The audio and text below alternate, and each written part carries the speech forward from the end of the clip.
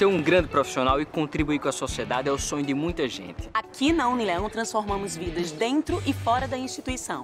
Conheço um núcleo jurídico que está fazendo a diferença no dia a dia das pessoas. O Núcleo de Práticas Jurídicas da Unileão funciona há três anos e oferece estágio aos alunos de Direito, Psicologia e Serviço Social. O núcleo atua na assistência jurídica gratuita, proporcionando à população carente o acesso ao Poder Judiciário. Os alunos recebem supervisão de professores e profissionais experientes da área. A instituição também tem parceria e convênio com órgãos e escritórios de advocacia. No NPJ, os estudantes também são preparados a desenvolver a cultura do diálogo, com a aplicação de métodos consensuais de solução de conflitos. Além de proporcionar a atuação em diferentes instâncias extrajudiciais, administrativas ou judiciais, essa contribuição demonstra que o curso de Direito da Unileão está atualizado com a nova diretriz curricular nacional.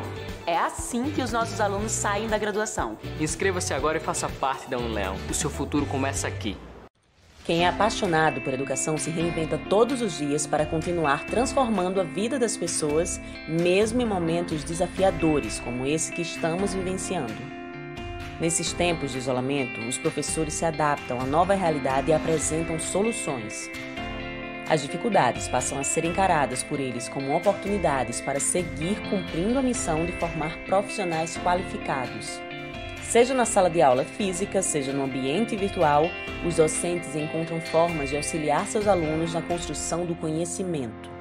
Lousa, livros, slides, computador, tablet e celular. As ferramentas são muitas, mas o conhecimento é único.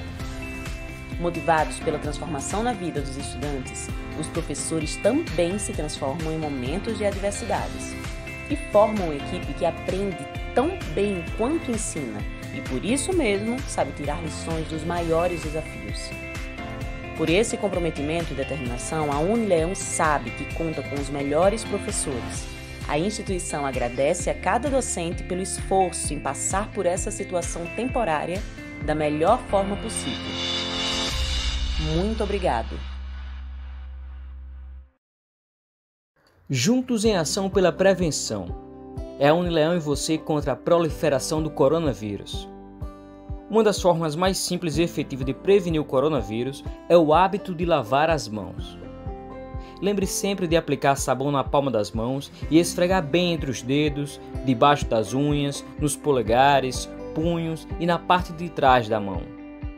Mas existem outras formas, como usar álcool em gel 70%, cobrir o nariz e a boca com lenço descartável ou com o braço ao tossir e espirrar, evitar contato físico com outras pessoas, evitar tocar olhos, nariz e boca com as mãos sujas, não compartilhar objetos de uso pessoal e evitar lugares com aglomerações de pessoas. Para mais orientações, estamos atualizando constantemente. Os alunos da Unileão saem do curso de Direito preparados para o mercado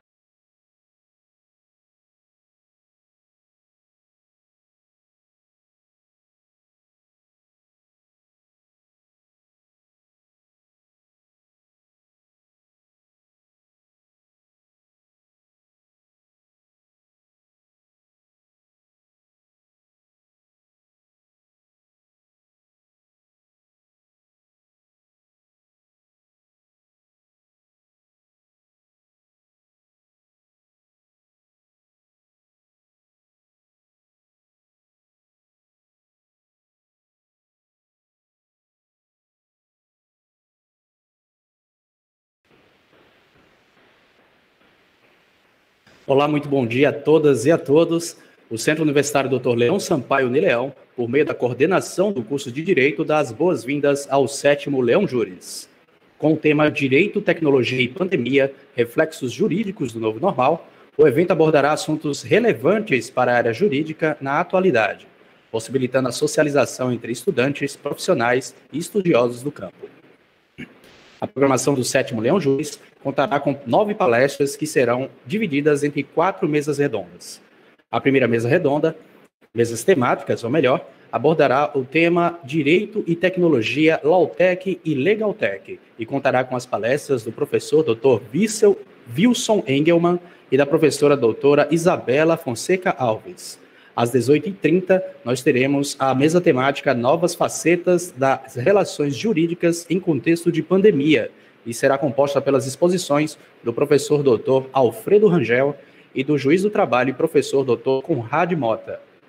Amanhã, às 9h30, nós teremos a terceira mesa com o tema Isolamento Social e seus desafios para o exercício profissional do direito, e contará com as palestras do professor Dr. André Cabral e do vice-presidente da OAB Juazeiro do Norte, o Dr. João Borges Filho. Na noite de amanhã, a partir das 18h30, nós prestigiaremos a quarta e última mesa temática Direitos Humanos e Covid-19, Polêmicas da Pandemia, e contará com três palestras. A primeira delas será ministrada pelo juiz federal e professor Dr. Lucas Aragão. A segunda será ministrada pela conselheira e presidente da Comissão de Ensino Jurídico da OAB do Crato, a doutora Alaine de Lavor Bezerra Moura. Encerrando a programação do evento, nós teremos a palestra do sócio fundador do site jus.com.br, o Dr. Paulo Gustavo Sampaio de Andrade. Nós lembramos a todos que a programação completa do sétimo Leão Júris pode ser acessada no portal unileão.edu.br barra evento traço VII traço Leão traço tudo minúsculo e sem acento. Nesta sala virtual, encontram-se presentes o magnífico reitor do Centro Universitário Dr. Leão Sampaio, o professor Jaime Romero de Souza, o coordenador do curso de Direito da Unileão, professor Otto Cruz, o coordenador adjunto do curso de Direito da Unileão, professor Cristiano Siebra, e representando a OAB Subseção Juazeiro do Norte, nós teremos a presença na programação deste evento, a palestra do vice-presidente da OAB Juazeiro do Norte, doutor João Borges Filho. E para a abertura oficial do sétimo Leão Júris, nós convidamos à palavra o magnífico reitor do Centro Universitário, Dr. Leão Sampaio Unileão, o professor Jaime Romero de Souza.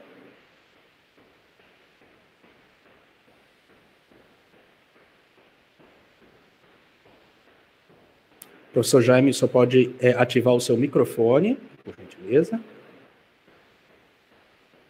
Ok, pronto. Agora ok? Te ouvimos, Bom professor. Dia para todos e a todas, acadêmicos, profissionais da área jurídica. É uma satisfação é, estarmos aqui mais um Leão Júris, é o nosso sétimo, um evento que reúne, além da academia, toda a área profissional de atuação jurídica, isso é fantástico para a gente. Quero saudar todas as autoridades da área do direito, começando pelos estudantes, professores e principalmente nossos convidados, é, que já estão na nossa sala, o professor Wilson e da Unicinos, e a professora Isabela Fonseca, que também vai palestrar hoje, que gentilmente, lá de Minas Gerais, né, vai nos agraciar com a, a, sua visão sobre temas da maior relevância. É, o nosso Leão Júris, que vai falar da, das questões do direito, pandemia inovação, tecnologia no novo normal. A gente está começando a entender o que é esse novo normal. Ele está sendo construído. E, pelo menos, acho que, felizmente, nós estamos percebendo que muita coisa, né, em muitas questões, o bicho não é tão feio assim. Porque as pessoas conseguiram se adaptar, a academia, o comércio, a indústria. Nós temos segmentos batendo recorde de atividade. Claro, tudo com muito cuidado, segurança, porque saúde em primeiro lugar. Mas nós estamos vendo uma evolução, um, uma continuidade das atividades e uma evolução em alguns processos. Uh, nós vamos falar, ao longo desse Leão Júris, de inteligência artificial no direito, as novas relações contratuais, em função de todas essas novas relações e de tudo que a pandemia nos trouxe de mudanças. Vamos falar sobre as tecnologias na educação jurídica. Uh, teremos dois dias de trabalho, quatro mesas temáticas e oito palestrantes. Então, é, eu quero realmente agradecer todos que se colocar à disposição para participar. Eu acho que não só os estudantes vão ter né, um, um, ganho muito grande, que toda a comunidade da nossa região, especialmente a área jurídica, tem muito a ganhar. E sobre a Unileão, eu aproveito a oportunidade de né, mandar um abraço para todos os acadêmicos, eh, dizendo que nós estamos retornando algumas atividades presenciais, alguns atendimentos no NPJ, é, algumas atividades de estágio. É, estamos preparados para o retorno quando ele for possível e quando ele for viável. Eu vou repetir: segurança, saúde em primeiro lugar. Nós teremos uma série de atividades nesse final de ano e esperamos voltar com muita força, é, com grande parte de atividades presenciais já para 2021. Mas seja como for, tudo que fizermos será com bastante qualidade e pensando em você, estudante, em você, professores, ok? Então, um grande abraço. Eu estou muito feliz com a atividade e com o desempenho dos nossos estudantes ao longo dessas nossas aulas remotas, síncronas, assíncronas. Eu acho que nós estamos vencendo o vírus. Olha, ele é forte, mas nós somos mais, ok? Então, um grande abraço para vocês e um grande Leão Júris, sétimo Leão Júris. Tá? Um abraço. Nós agradecemos a palavra do professor Jaime Romero de Souza e nesse momento nós convidamos a palavra o coordenador do curso de Direito da União, o professor Otto Cruz. Bom, bom dia a todos, espero que estejam todos com saúde. Inicialmente eu gostaria de é, registrar e saudar aqui a presença do nosso magnífico reitor, professor Jaime, que vem dando um suporte muito grande à coordenação do curso de Direito. Estamos passando por um, por um ano de novos desafios, novos obstáculos também na educação jurídica. Estamos inovando na nossa matriz curricular, tratando e discutindo novas temáticas. O professor Cristiano ah, sabe do que eu estou falando, desse, de todos esses obstáculos e de aprendizado. Nós estamos aprendendo muito, professor Wilson, junto com todos os nossos alunos e professores. Saudar especialmente a todos os palestrantes que receberam o nosso convite eh, para participar desse momento e essa troca de, de, experiência com nossos alunos e professores de uma forma eh, tão, tão uh, rápida e, e solícitos como todos foram. Então, agradecer aqui todos os palestrantes em nome do professor Wilson, que está aqui presente, e que nos brindará com uma palestra muito importante hoje pela manhã de uma temática é, bem atual. Né? E dizer a todos os alunos que eu também gostaria de, de agradecer a todos eles pela compreensão que eles vêm tendo e pela participação em todos os momentos durante esse ano. E fazer esse agradecimento em nome do aluno Geraldo, do aluno Geraldo Alves, que participou da nossa comissão é, é, organizadora desse evento, então, deixar aqui registrado o agradecimento ao aluno Geraldo em nome de todos os outros. Eu serei breve nessa participação, porque, como já foi dito pelo professor Jaime, pelo Kioshi, nós teremos duas palestras hoje pela manhã, tratando de inteligência artificial, tratando de direito, tratando desse novo cenário. Teremos mais duas palestras hoje à noite com o professor Alfredo Rangel, uh, uh, com, com o professor André Cabral falando de advocacia negocial em meio ao caos. Teremos o professor João Filho, então são inúmeras palestras. Eu acho que esse momento ele deve ser bem aproveitado por todos nós, porque essa pandemia também trouxe alguns pontos positivos, como foi dito pelo professor Jaime. Esse intercâmbio de docentes, ele ocorreu de uma forma bem melhor e, e, e, mais acentuada do que ocorria antigamente, porque nós não temos mais aquelas dificuldades quanto à distância. Então, tivemos a oportunidade de trazer professores brilhantes durante o ano aqui para a Unileão, de maneira virtual, mas que foi muito enriquecedor. E nós estamos trabalhando nesse cenário, estamos trabalhando já pensando 2021. Já conversei com o professor Cristiano, estamos adaptando as nossas disciplinas a esse cenário tratar de empreendedorismo nesse novo cenário, tratar de lei geral de proteção de dados, que é fundamental, de uma maneira mais uh, objetiva. Né? Então, uh, nós já estamos nos preparando para 2021. Então, agradecer a todos os alunos e a professores, a comissão organizadora, professora Joseane, professora Tamires, professor Pablo, porque mesmo sendo virtual, organizar um evento científico desse porte não é tarefa também das mais simples. E aí eu precisei do suporte, da ajuda de todas essas pessoas que fizeram parte, a professora Francilda, uh, o, o aluno Geraldo, o professor Cristiano, o quiosque da comunicação, todos que estavam ali por trás, a Sara, ajudando para que esse evento pudesse se concretizar. E eu espero que todos vocês aproveitem muito evento, porque ele vai ser muito enriquecedor. Um abraço a todos vocês, aproveitem o evento. Professor Jaime, muito obrigado por toda a ajuda e suporte que vem dando ao curso de Direito. Professor Will, seja bem-vindo, professor, mais uma vez a Unileão, e eu espero que, que o senhor volte outras vezes. Tá? Um abraço a todos. Yoshi. Eu queria a palavra de novo, possível? Quebrando o protocolo? Professor Otto, eu não podia deixar de relatar que ao longo das últimas semanas eu recebi inúmeras mensagens parabenizando os nossos estudantes e egressos pela aprovação em diversos concursos, propostas de emprego, propostas de estágio e sempre ficando nas melhores, nas primeiras posições. Eu acho que isso é mérito de vocês que fazem a Unileão uma academia do direito e é por isso que nós somos disparado a maior faculdade de direito do interior do Ceará. Então, parabéns a vocês, parabéns aos estudantes que têm se empenhado. E eu acho que muita notícia boa ainda está por vir, porque eu não fico um dia sem receber aprovação de três, de quatro, de cinco, de dois.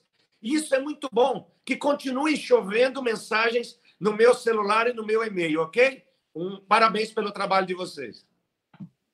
Parabéns a todos os alunos. Essa foi uma, das boas notícias da última semana, esse número expressivo de alunos aprovados no processo seletivo do Tribunal de Justiça do Ceará. Primeira colocação em Juazeiro, primeira colocação em Barbalha, segunda colocação no Crato, e fora os outros alunos que também foram aprovados. Então, é, é mérito do nosso corpo docente, dos professores e também dos nossos alunos, que mesmo diante desses obstáculos, eles vêm conseguindo construir aí resultados de sucesso. Então, um agradecimento aos professores e parabéns aos nossos alunos. Bem, nós agradecemos a participação do professor Otto Cruz. É, e com a palavra agora, nós convidamos o coordenador adjunto do curso de Direito da Unileal, o professor Cristiano Sierra. É, bom dia a todos e a todas. É, quero aproveitar a oportunidade para cumprimentar o magnífico reitor do Centro Universitário, doutor Leão Sampaio, na pessoa do professor Jaime Romero de Souza, é, por quem saúdo todos os colegas professores que aqui se encontram, é, honrando, nos honrando e abrilhantando com suas presenças esse encontro virtual e brindando a abertura do sétimo Leão Júris. Destaco aqui na oportunidade a pessoa do professor Otto, com quem compartilho a coordenação de curso é, do, de Direito da Unileão, o doutor Wilson Engelman, né, meu dileto orientador, né, quero agradecer desde já a sua aceitação pelo convite de participar e palestrar nesse nosso evento. Professor Wilson, coordenador do programa de mestrado e doutorado da Unicinos, em Porto Alegre. Né, sejam, seja bem, muito bem-vindo, professor Wilson. Quero estender meus cumprimentos também aos estudantes de Direito, com quem celebramos esse momento, nobres colegas, professores, advogados, advogadas, que têm nos acompanhado, que têm, é, que vem nos acompanhando também pelo nosso canal no YouTube, senhores e senhoras.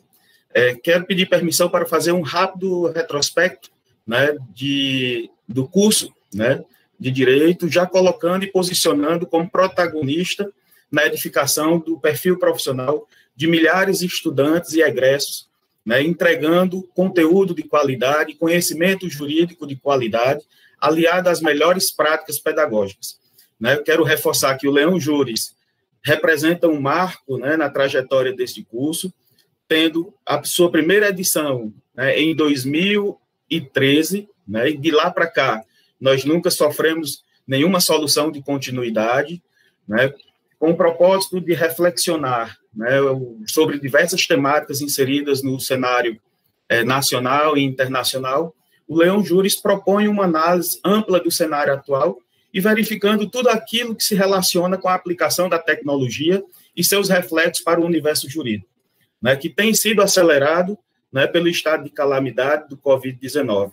Permita-me também, é, por oportuno, uma rápida transcrição, tá, gente, sobre a programação do nosso evento, né, que serão discutidos temas importantes como os desafios regulatórios trazidos pelas nanotecnologias e inteligência artificial, a inteligência artificial no direito em tempos de pandemia, efeitos da pandemia sobre as relações contratuais, sobre as relações trabalhistas e as novas tecnologias a elas associadas, a advocacia negocial, como ela tem se comportado né, durante todo esse processo, né, durante todo essa, esse isolamento social, né, qual das alternativas, né, aí a palestra do grande é, João Filho, né, adapte-se, adapte-se ou adapte-se, né, qual das duas alternativas, qual das duas é, medidas você escolhe.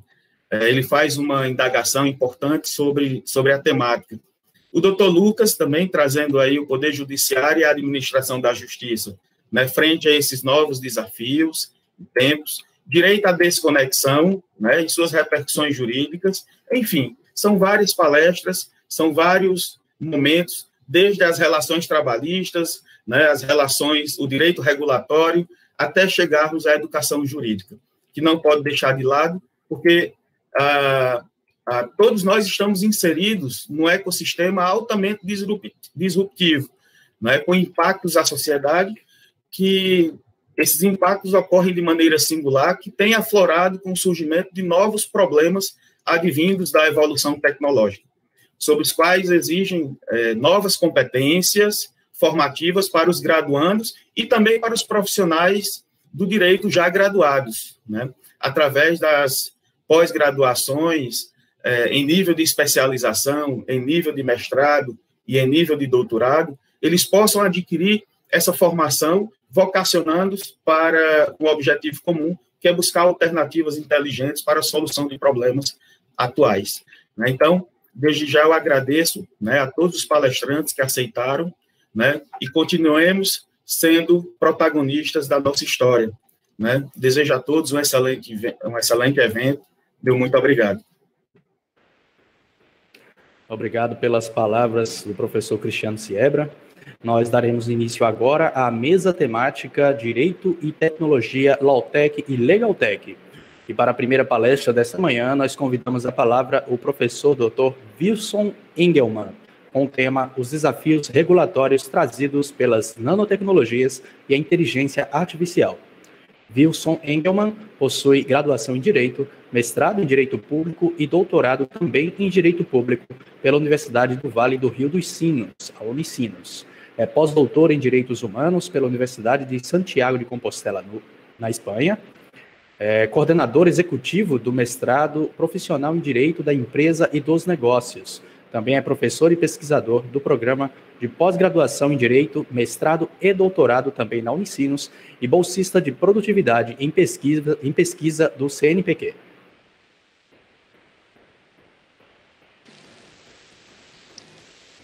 Bom dia a todos. Então, muito obrigado pelo convite. Eu saúdo aqui, então, é, o professor é, Jaime Romero, nosso reitor da Unileão. É um prazer revê-lo.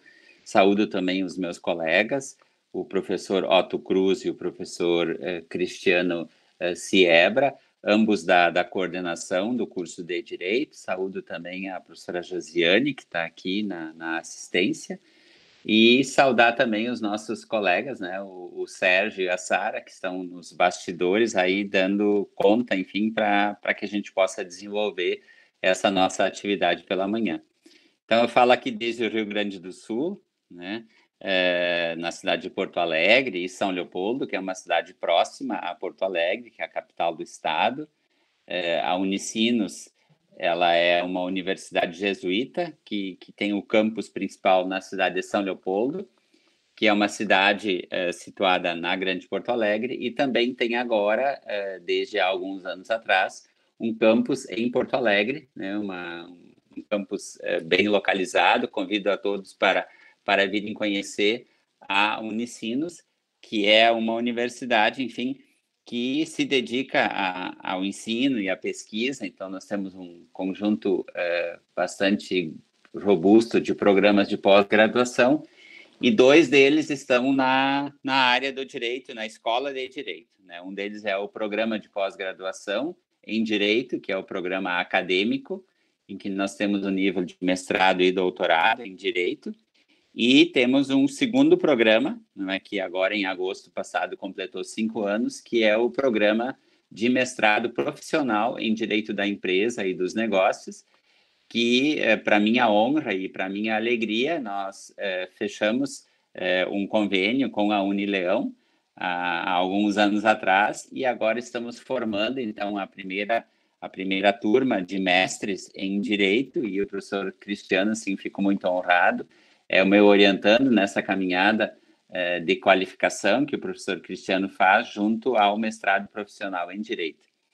E a gente está agora, então, fruto dessa nossa parceria entre a Unicinos e a Unileão, a gente está com um processo de seleção aberto para a segunda turma é, de mestrado profissional em Direito da Empresa e dos Negócios. Então, fica aí o convite para quem tiver interesse de continuar os seus estudos no nível de mestrado para então procurar, enfim, a, a Unileão e aonde vocês vão ter então mais informações sobre isso. Eu trabalho com esse tema que foi anunciado para a nossa conversa de hoje sobre nanotecnologias e direito desde 2008, que foi o ano em que eu ingressei no programa que me formou, onde eu fiz o mestrado e o meu doutorado na Unicinos, eu tive, então, a partir de 2008, a oportunidade de ingressar por um processo seletivo também interno, como professor e pesquisador nesse programa. Então, desde essa época, eu venho acompanhando, eu venho pesquisando, venho orientando eh, mestres e doutores, enfim, já tenho um bom grupo que trabalham esse tema da, da nanotecnologia e a sua relação com o direito. Os colegas que estão com a gente devem estar pensando, mas o que significa nanotecnologia? O que significa essa palavra? Bom, o ideal seria nós falarmos em nanotecnologias, porque é um conjunto é, de várias áreas de produção, não é, de pesquisa, de desenvolvimento científico, que trabalha na chamada nanoescala ou a escala nanométrica, e aí ainda segue a pergunta, mas do que, que o professor está falando? Bom, quando a gente fala em nanoescala ou a escala nanométrica, é, eu estou me referindo a uma medida e essa medida equivale a bilionésima parte de um metro. Ou seja, se você dividir um metro, vai dividindo ele até chegar a bilionésima parte dessa divisão do metro, você vai conseguir então ter acesso à chamada escala nanométrica. Para quem gosta de matemática ainda, seria o 10 elevado à potência 9 negativa, nós estamos numa escala negativa, não é? E, e, isso por si só é importante, porque nós estamos operando nessa escala nanométrica com átomos e moléculas, ou seja, essa é uma medida que na natureza ela sempre existiu, mas o ser humano conseguiu acessá-la e conseguiu então desenvolver pesquisas e desenvolver produtos é, a partir do momento em que se desenvolveram equipamentos especializados que conseguem enxergar nessa escala de tamanho que é efetivamente muito pequena. Então vocês imaginem a, as possibilidades científicas, tecnológicas e de inovação, já que o tema desse evento também é a perspectiva da inovação, que se abrem a partir do momento em que o ser humano consegue então é, juntar e separar novamente átomos e moléculas e praticamente construir, reconstruir, des, destruir e construir novamente tudo o que ele quiser.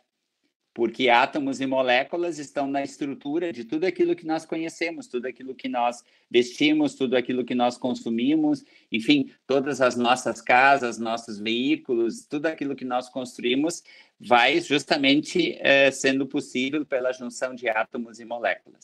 Então, com essa tecnologia que está em setores assim dos mais variados, que a gente poderia nominar, por exemplo, no, o setor de eletrônicos, é? o setor de medicamentos, uh, o setor da construção, não só da construção civil, mas da construção naval também, da indústria bélica, está, por exemplo, também uh, no petróleo e gás, está, por, por exemplo, também é, nos equipamentos domésticos da linha branca, está, por exemplo, nos alimentos, nas embalagens, nos artigos de vestuário, nos artigos de esporte e fitness, na possibilidade da impressão 3D e assim sucessivamente. Então, praticamente, eu arriscaria dizer que não há hoje setor eh, industrial e tecnológico que não esteja trabalhando eh, uma parte da sua produção a partir da escala nanométrica. Mas por que, que isso é importante? Porque quando nós falamos em nanotecnologias, nós estamos então falando dessa manipulação da, da escala, a escala nanométrica, que eu já mencionei, que é a bilionésima parte de um metro. Né? Então, é um tamanho que fica, então, em cerca de 1 a 100 nanômetros, nós estamos nessa escala, então, é, onde a nanotecnologia opera. Até aí, seria apenas uma novidade, uma possibilidade que o ser humano descobriu.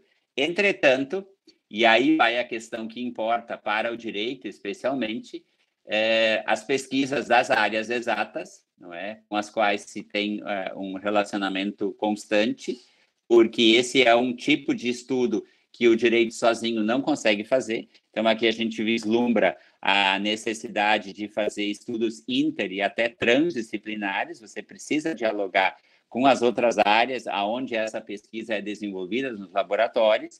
E a questão é então justamente que Nesta escala de tamanho, por ser uma escala negativa, então ela está muito abaixo do zero, né?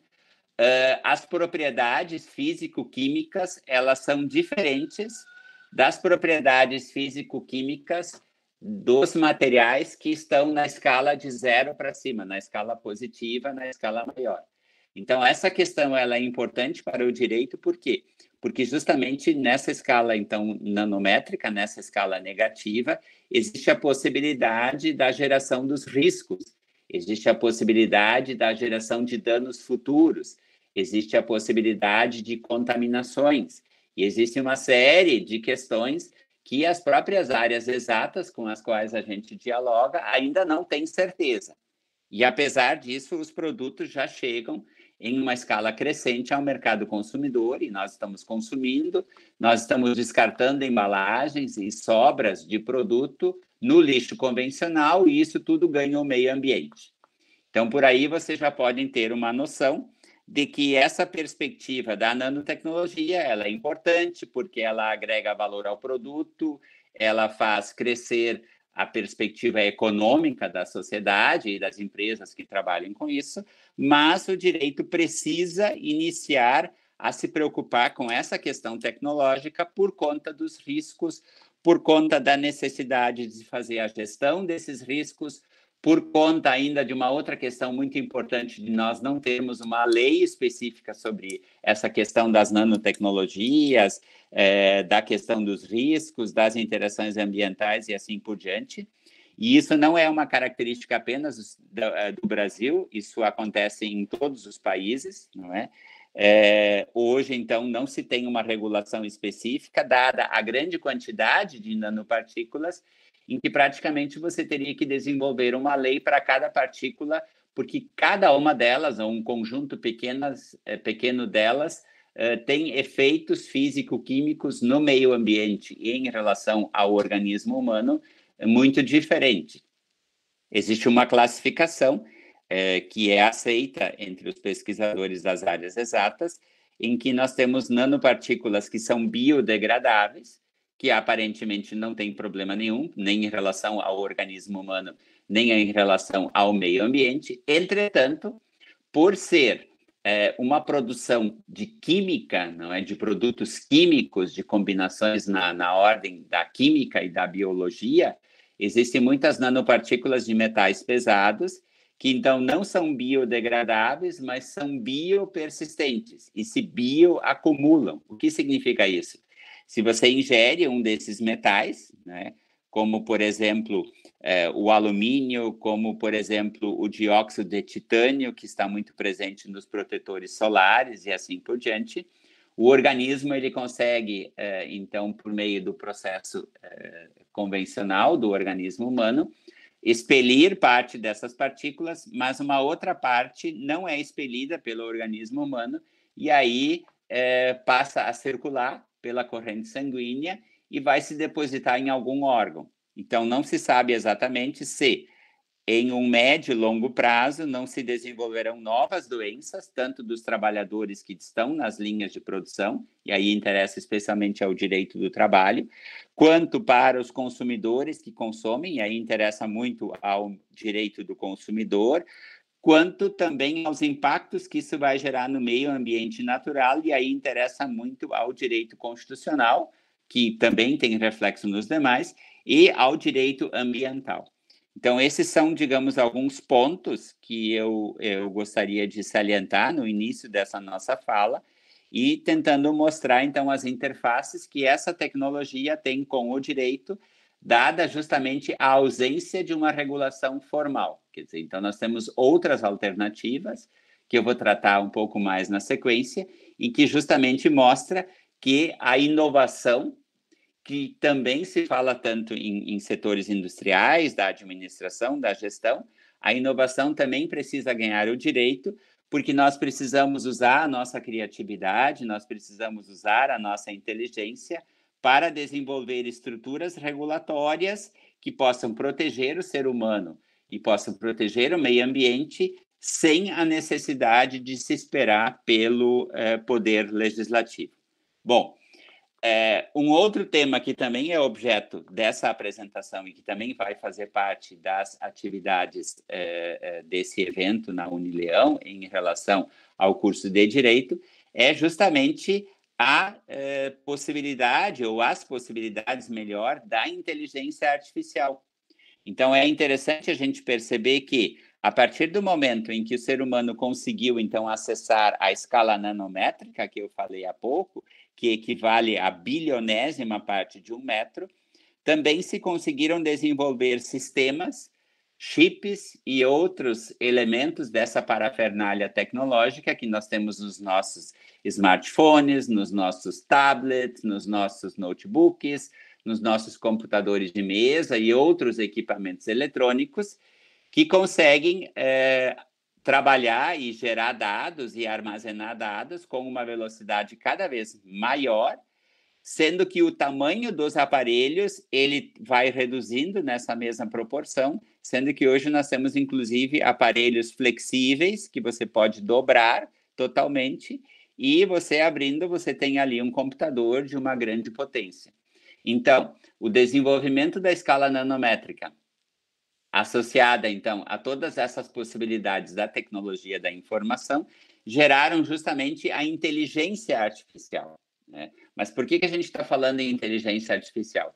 Existe um, um filósofo, um professor de filosofia e ética da informação da Universidade de Oxford, que eu recomendo para todos, tem várias publicações, é um sujeito que tem em torno de 56 anos, 57 anos, chama-se Luciano Floridi, e Luciano Floridi é talvez um dos cientistas é, é, que trabalha essa questão das novas tecnologias, com destaque para a inteligência artificial, justamente discutindo os impactos éticos que essa inteligência artificial poderá gerar em relação à nossa vida. E ele tem duas frases que eu, eu proponho para vocês, que estão é, lá no, no, laboratório dele, na, na, alojado dentro da Universidade de Oxford, que diz o seguinte: a inteligência artificial não é meramente outra utilidade que precisa ser regulada quando estiver madura, porque ele está falando justamente para nós da área do direito, e ele vai continuar. É uma força poderosa que está remodelando nossas vidas as nossas interações e os nossos ambientes. Então veja que o, o, o filósofo de Oxford ele chama a atenção para a importância dessa questão dos efeitos que a inteligência artificial poderá gerar, porque provavelmente ele vai dizer eh, nós não vamos conseguir regular a inteligência artificial porque ela mesma vai se transformando. Quando você acha que você conhece um sistema, surge um novo sistema, surge um novo aparato tecnológico que transforma ele, e em transformando o próprio sistema, como diz o Luciano Floridi, ele vai também transformar, ou para usar a palavra do filósofo, vai remodelar as nossas vidas, vai remodelar a maneira como nós interagimos e vai re remodelar também os nossos ambientes.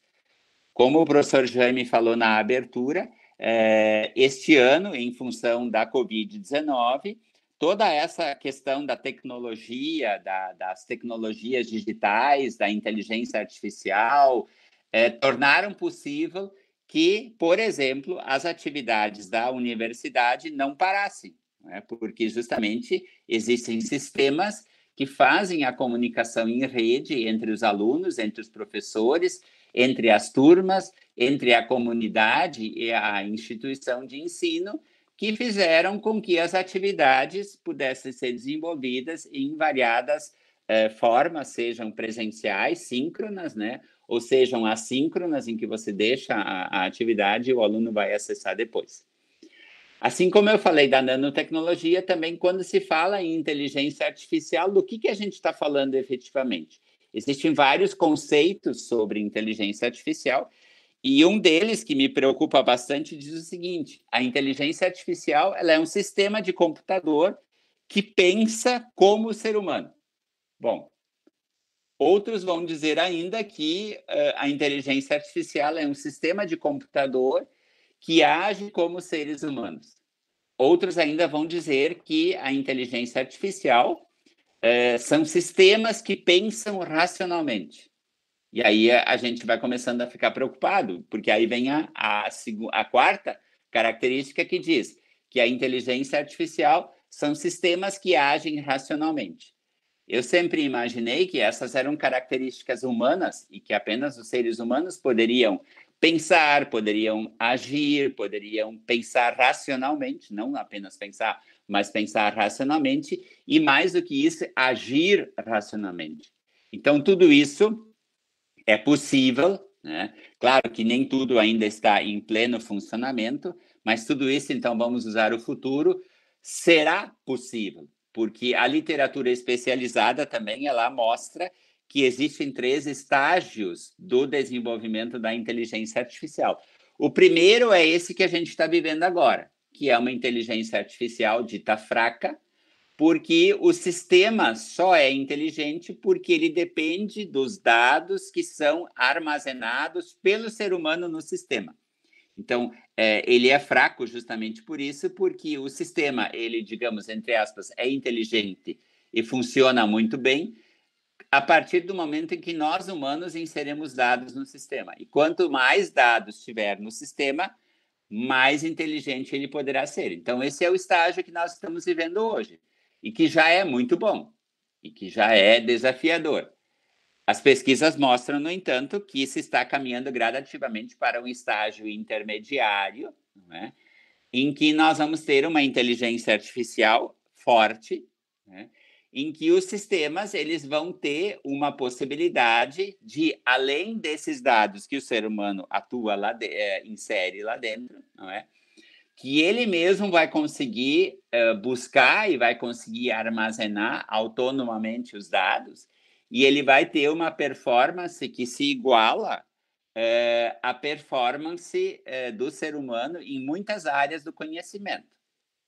E haveria ainda, e aí nós teríamos um terceiro estágio, aquilo que a literatura chama de uma inteligência artificial autônoma, né? uma super inteligência artificial, em que os sistemas não precisariam mais do ser humano, né? eles teriam justamente possibilidade de resolver problemas instantaneamente em todas as áreas e de maneira autônoma, né? E é, é, performando muito melhor do que a performance que é, é desenvolvida pelo ser humano. Então, esses são três estágios que são projetados. Né? Claro que isso vai levar um certo tempo para que a gente chegue a essa superinteligência, né? porque justamente nessa superinteligência as máquinas elas criam um, um, grande nível de independência do ser humano e aí fica sempre a perspectiva ética, não é? Será que um dia as máquinas vão dominar o ser humano? Ou será que o ser humano precisa justamente ir com calma nesse avanço tecnológico desenvolver regras, desenvolver princípios que possam assegurar que nós, humanos, como criadores dos sistemas de inteligência artificial, continuemos sempre no comando. Então, veja que aqui são algumas questões que precisam chamar a atenção do direito Então, não se pode mais esperar a ocorrência de um, de um fato, de um evento danoso, de um acidente, para que o direito passe a atuar, como é a forma tradicional da atuação, especialmente a atuação legislativa, mas o direito precisa acompanhar de perto o desenvolvimento dessas tecnologias. E justamente é, o papel do direito, o papel da faculdade de direito hoje é fomentar o desenvolvimento da chamada inteligência emocional. Então, há pesquisas hoje que mostram que justamente a inteligência emocional, que é uma inteligência própria do ser humano, né? como, por exemplo, a empatia, como, por exemplo, é, toda essa questão do diálogo, da mediação, da arbitragem, de você poder ponderar determinadas situações, essas são características eminentemente humanas e que integram essa categoria da inteligência emocional, e justamente essa categoria é que deve ser desenvolvida com bastante afinco e com bastante dedicação, né, pelas universidades, incluindo o curso de direito, para que o ser humano continue sendo útil, continue sendo importante em uma era em que se anuncia como a era das máquinas, a era da automação, a era da inteligência artificial, a era em que o ser humano vai perder o emprego porque o seu emprego, o seu posto de trabalho, a sua tarefa, ela vai ser robotizada. Então, essa é uma questão muito importante, porque nós temos, por exemplo, na Constituição eh, Federal de 88, o artigo 7, inciso 27, que justamente eh, eh, prevê a, a regulamentação, não é? De um direito do trabalhador que fala sobre a proteção do trabalhador, a proteção do trabalho, dos locais de trabalho em face da automação. E nós sabemos que esse artigo ainda não está regulamentado, portanto, efetivamente, nós ainda não temos uma legislação que possa dizer quais seriam, então, os limites entre a atuação dos sistemas de automação e, justamente, a automação é, propriamente ditas nos locais de trabalho. Então, existe hoje uma série de pesquisas é, mostrando é, que eh, se deve ter muito cuidado com os recursos da inteligência artificial e que exigem, por exemplo, a, a transparência em relação a se saber quando e como se está aplicando e sobre quem treinou e com quais dados e como a inteligência artificial chegou. Então, em relação à inteligência artificial, existe uma série de preocupações ético-jurídicas que devem interessar para nós, alunos, para vocês, alunos, para vocês, acadêmicos da Unileão, eh, em todos os níveis de formação e para todas as outras pessoas que estão nos acompanhando, justamente o cuidado de quando e como se está aplicando a inteligência artificial. Quem treinou esta inteligência artificial? com quais dados essa inteligência artificial foi armazenada e como isso se deu. Porque nós sabemos muito bem que a inteligência artificial ela vai aprendendo e ela a princípio ela não sabe o que é uma atitude de discriminação. Então, se ela receber informações com viés discriminativo, o sistema vai também responder de modo discriminativo. Então, é preciso muita atenção nesse contexto, né? É, muita atuação é, inteligente e responsável nesse cenário todo, né? É, justamente porque a inteligência artificial ela não atua sozinha. Ela está num cenário que a literatura chama de convergência tecnológica. Então, existe, eu já mencionei antes, um conjunto de tecnologias aonde a nanotecnologia, a inteligência artificial, a internet das coisas, a impressão 3D, os carros autônomos e outros são apenas alguns exemplos eh, dessas tecnologias que estão no contexto daquilo que o CEO do Fórum Econômico Mundial, o Dr. Klaus Schwab, chama de quarta revolução industrial. Então, essa quarta revolução industrial, ela está provocando é, uma série de transformações no mundo, não é? Está provocando uma série de mudanças também é, no modo como nós interagimos com as outras pessoas, no modo como nós desenvolvemos as nossas habilidades também, no modo como nós nos relacionamos é, com outros é, pesquisadores também. Né? Então, é, me parece que essa é uma questão bastante significativa, né? que nós precisamos justamente perceber que as novas tecnologias elas estão aí para o bem, mas elas também estão aí para que eventualmente possam gerar reflexos negativos, é, reflexos que possam eventualmente produzir dano. Então, aí o direito precisa estar muito atento. Que duas perguntas é, que se fazem, que e são para nós, direito, e são oportunidades, especialmente para aqueles colegas da graduação em direito, para pensar em temas para o seu trabalho de conclusão de curso. As perguntas são as seguintes: como regular e o que regular nesse contexto, por exemplo, da inteligência artificial e das nanotecnologias? Porque é tão abrangente é, o conjunto de possibilidades em que elas são aplicadas que, de certo modo, é, dificilmente é, você é, aonde começar a questão da regulação. Né? Existe hoje na literatura estrangeira e aí eu destaco especialmente depois, eu posso é, compartilhar essa apresentação com os professores Otto e o professor Cristiano, e aí vocês podem ter acesso a eles.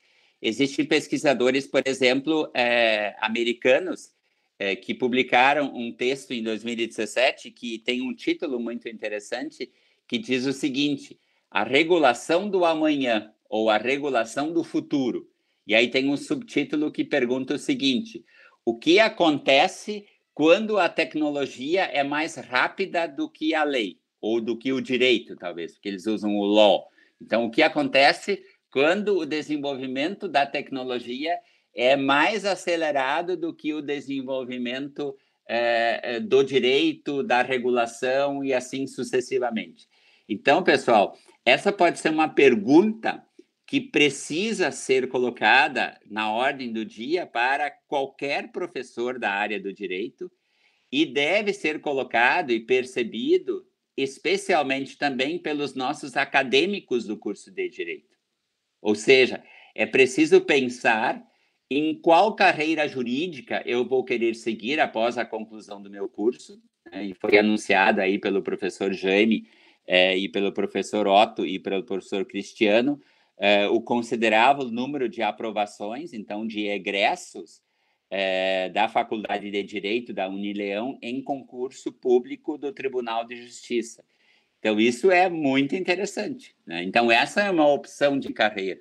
Mas, além das carreiras públicas, junto ao Poder Judiciário e outros órgãos também, existe a advocacia, não é que é uma carreira que deve ser seguida por muitos. Existe dentro da advocacia também a advocacia privada, a advocacia pública, enfim, o trabalho com empresas que operam com a inovação. Ah, por exemplo, você querer ser professor, pesquisador, você querer ser diplomata, delegado, eh, defensor público, juiz e promotor e assim por diante. Então, é um grande conjunto de, de carreiras jurídicas que você pode acessar, a maioria deles por meio de concurso público, e dá para ver que a Unileão capacita muito bem os seus alunos, para que você possa ser feliz com a carreira que você escolheu.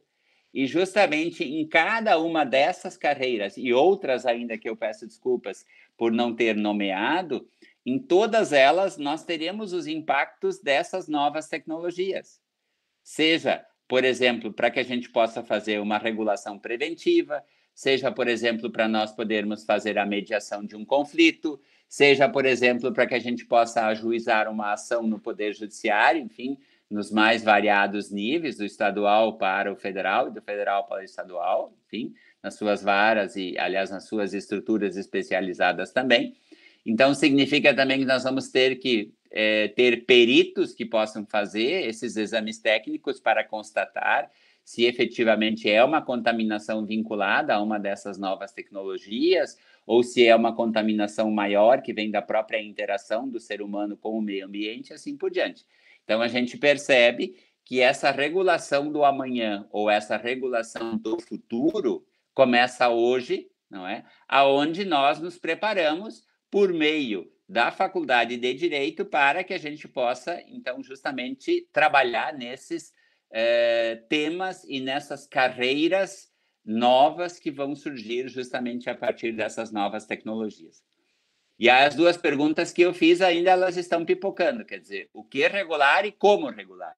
E aí uma das questões, esses eh, três colegas americanos justamente colocam, quer dizer, eh, como regular essa perspectiva que é presente e futuro. Normalmente o direito opera desde o passado, né, do passado para o presente. Só que essas novas tecnologias, elas estão começando a emergir agora, então elas não têm um passado, elas vão ter presente e futuro. Então, nós precisamos também pensar em perspectivas mais dinâmicas, mais responsivas, e os três autores americanos, que publicaram o artigo na American University Business Law Review, em 2017, né, é, colocam três é, elementos fundamentais para que a gente possa é, arquiteturar, arquitetar, não arquiteturar, arquitetar, organizar ou estruturar é, os elementos para essa regulação do futuro. A primeira é a intervenção regulatória orientada por dados, ou seja, nós vamos precisar de informações acerca do desenvolvimento dessas tecnologias, da arquitetura em que elas são formadas, a quantidade disso tudo. Então, nós precisamos também conhecer estatística, nós precisamos também conhecer um pouco de ciência dos dados, que é uma nova área do conhecimento que surge com essas novas tecnologias, porque para que a gente possa regular e para que a gente possa não errar a mão, ou seja, é, simplesmente colocar, por exemplo, é, uma regulação muito fechada que impede a inovação, ou uma regulação muito flexível, que também não ajuda a regular nada, nós precisamos ter dados. Um segundo elemento eh, dentro dessa regulação para o futuro é um tema que nós, o direito, conhecemos muito bem, que é uma abordagem baseada em princípios. Então, esse, essa, essa grande temática dos princípios, ela para nós, o direito, é muito importante e vocês estudam ela desde o início da sua graduação. Então, valorizar os princípios na estruturação eh, de modelos regulatórios que não dependam do poder legislativo. E, finalmente, eh, o desenvolvimento e a validação de testes regulatórios. Então, como nós estamos aqui eh, tentando inovar também com a questão da regulação, que não depende do legislativo, que não depende do Estado, a, a, nossa sugestão também, e é uma pesquisa que a gente vai começar a conduzir agora, é, é que a gente possa ter espaços para testar essas estruturas regulatórias antes que elas sejam utilizadas em um maior número é, na sociedade. Existem dois mecanismos que eu venho estudando um pouco mais de perto. Um deles é o que é, é o que é chamado dos é, sandbox, né? Literalmente, se nós traduzirmos caixas de areia, né? é, nós, quando éramos pequenos, e as nossas crianças hoje, muitas delas ainda têm uma caixa de areia. E dentro dessa caixa de areia, é, as crianças podem brincar e lá dentro elas têm um certo direito de criar suas próprias regras. Então, essas caixas de areia hoje, elas são desenvolvidas justamente é, a partir é, das startups inovadoras da área, das, da área financeira, que são as fintechs, em que eles desenvolvem, então, espaços para testar a regulação relativa às fintechs. E a minha pesquisa tem mostrado, é, pelo menos eu estou tentando mostrar isso, então é uma pesquisa que a gente está iniciando, né? tem um ano agora que a gente está estudando isso, é, que talvez as novas tecnologias também possam ter esses espaços de teste para a gente saber se o que a gente está propondo é adequado ou não. E uma outra categoria que eu estou também buscando fora do direito, e, e, a gente vai começar a desenvolver um projeto nesse sentido, são os chamados Living Labs, ou seja, o, os laboratórios de vida ou os laboratórios reais em que também você pode, dentro, por exemplo, de um parque tecnológico, e a nossa proposta é desenvolver isso aqui na Unicino, junto ao portal de inovação, não é? é que existe no campus da Unicinos em São Leopoldo, em que nós temos uma série de empresas e temos uma série de institutos tecnológicos que desenvolvem justamente nanotecnologia e desenvolvem inteligência artificial. Então, a nossa ideia é formar uma estrutura de princípios e aí conversar com esses pesquisadores, esses técnicos dessas áreas e tentar colocar em prática um funcionamento do dia a dia, enfim, da produção, da comercialização, do uso da tecnologia a partir uh, desses uh, requisitos de princípios que a gente uh, vai desenvolver. E aí você deve estar pensando, mas como é que o professor quer fazer isso? Bom, em relação à inteligência artificial, especialmente, para a gente trabalhar um exemplo mais próximo, existe uma série de organizações internacionais, como a OCDE, a, a Organização para a Cooperação e Desenvolvimento Econômico, do qual o Brasil ainda não faz parte, não é? mas existe toda uma movimentação não é? para que o Brasil, daqui a algum tempo, possa integrar também a OCDE. A OCDE ela publicou no ano passado em maio de 2019, é, um conjunto de recomendações que as empresas deveriam observar quando trabalham com a nanotecnologia. E é, esse documento da, da Organização para a Cooperação e Desenvolvimento Econômico, ele está é, estruturado em cinco princípios. Veja, falando novamente em princípios. O primeiro deles, o crescimento inclusivo, desenvolvimento sustentável e bem-estar. Né? Então, esse, esse conjunto deve nortear o desenvolvimento da inteligência artificial, a, o reconhecimento e o respeito a valores e a justiça centrados no ser humano. Então, veja, a OCDE está preocupada com aquilo que eu disse, é, com o desenvolvimento da superinteligência, em que talvez a máquina, o robô, possa controlar o ser humano. Então, aqui está dizendo justamente que não, que a justiça ela deve ser centrada no ser humano. Um terceiro princípio, ou terceiro, são dois, transparência e explicabilidade, quer dizer, é, isso é importante para a área do direito, porque cada vez mais a gente vê é, os tribunais que compõem o judiciário brasileiro é, adotarem mecanismos de decisão, não é, fundados justamente na inteligência artificial. Veja-se, por exemplo, o sistema Victor, que é utilizado pelo Supremo Tribunal Federal, e outros tribunais também já têm os seus próprios sistemas. Então, é preciso assegurar que a parte que tenha o seu processo julgado por um sistema de inteligência artificial, que ela possa ter acesso aos algoritmos que compõem justamente a inteligência artificial, para que ela possa saber exatamente é, quais precedentes, quais fontes do direito que foram utilizadas para estruturar aquela decisão judicial. Além disso, ainda um quarto princípio, robustez, segurança e proteção. Veja que essa questão da proteção é extremamente interessante. Veja o que aconteceu com o Tribunal Superior Eleitoral, é? que houve uma, uma maciça tentativa de derrubar o sistema no domingo, é? justamente para criar é, um clima de, de, desconfiança sobre o resultado da, das eleições. Então, veja que essa questão é, da segurança dos dados, da segurança dos algoritmos e da inviolabilidade desse sistema é, precisa ser assegurada, porque se nós vamos confiar no sistema, nós precisamos confiar também é, nos sistemas que garantem a segurança, que garantem a transparência e que garantam a credibilidade nos resultados que forem sair desse sistema. E, por fim, não é?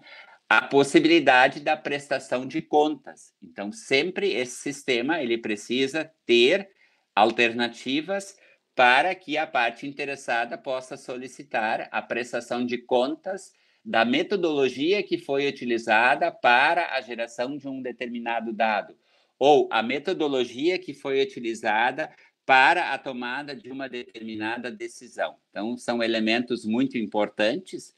A União Europeia também, por meio da sua Comissão Europeia, eh, apresentou também, eh, no final do ano de 2018, e eles continuam trabalhando, inclusive recentemente foi divulgado um documento é, reforçando esses princípios de 2018 e ampliando o espectro de interpretação desses princípios, ela também apresenta alguns princípios que são extremamente importantes para o desenvolvimento da inteligência artificial. Só rapidamente, o primeiro deles é o princípio do respeito aos direitos fundamentais. Então, veja que isso é um tema que pode ser editado na Europa, em qualquer outro país, porque hoje todas as constituições modernas é, que vieram do século XX para o século XXI, elas têm um capítulo dirigido aos direitos fundamentais. Então veja que essa preocupação com os direitos fundamentais,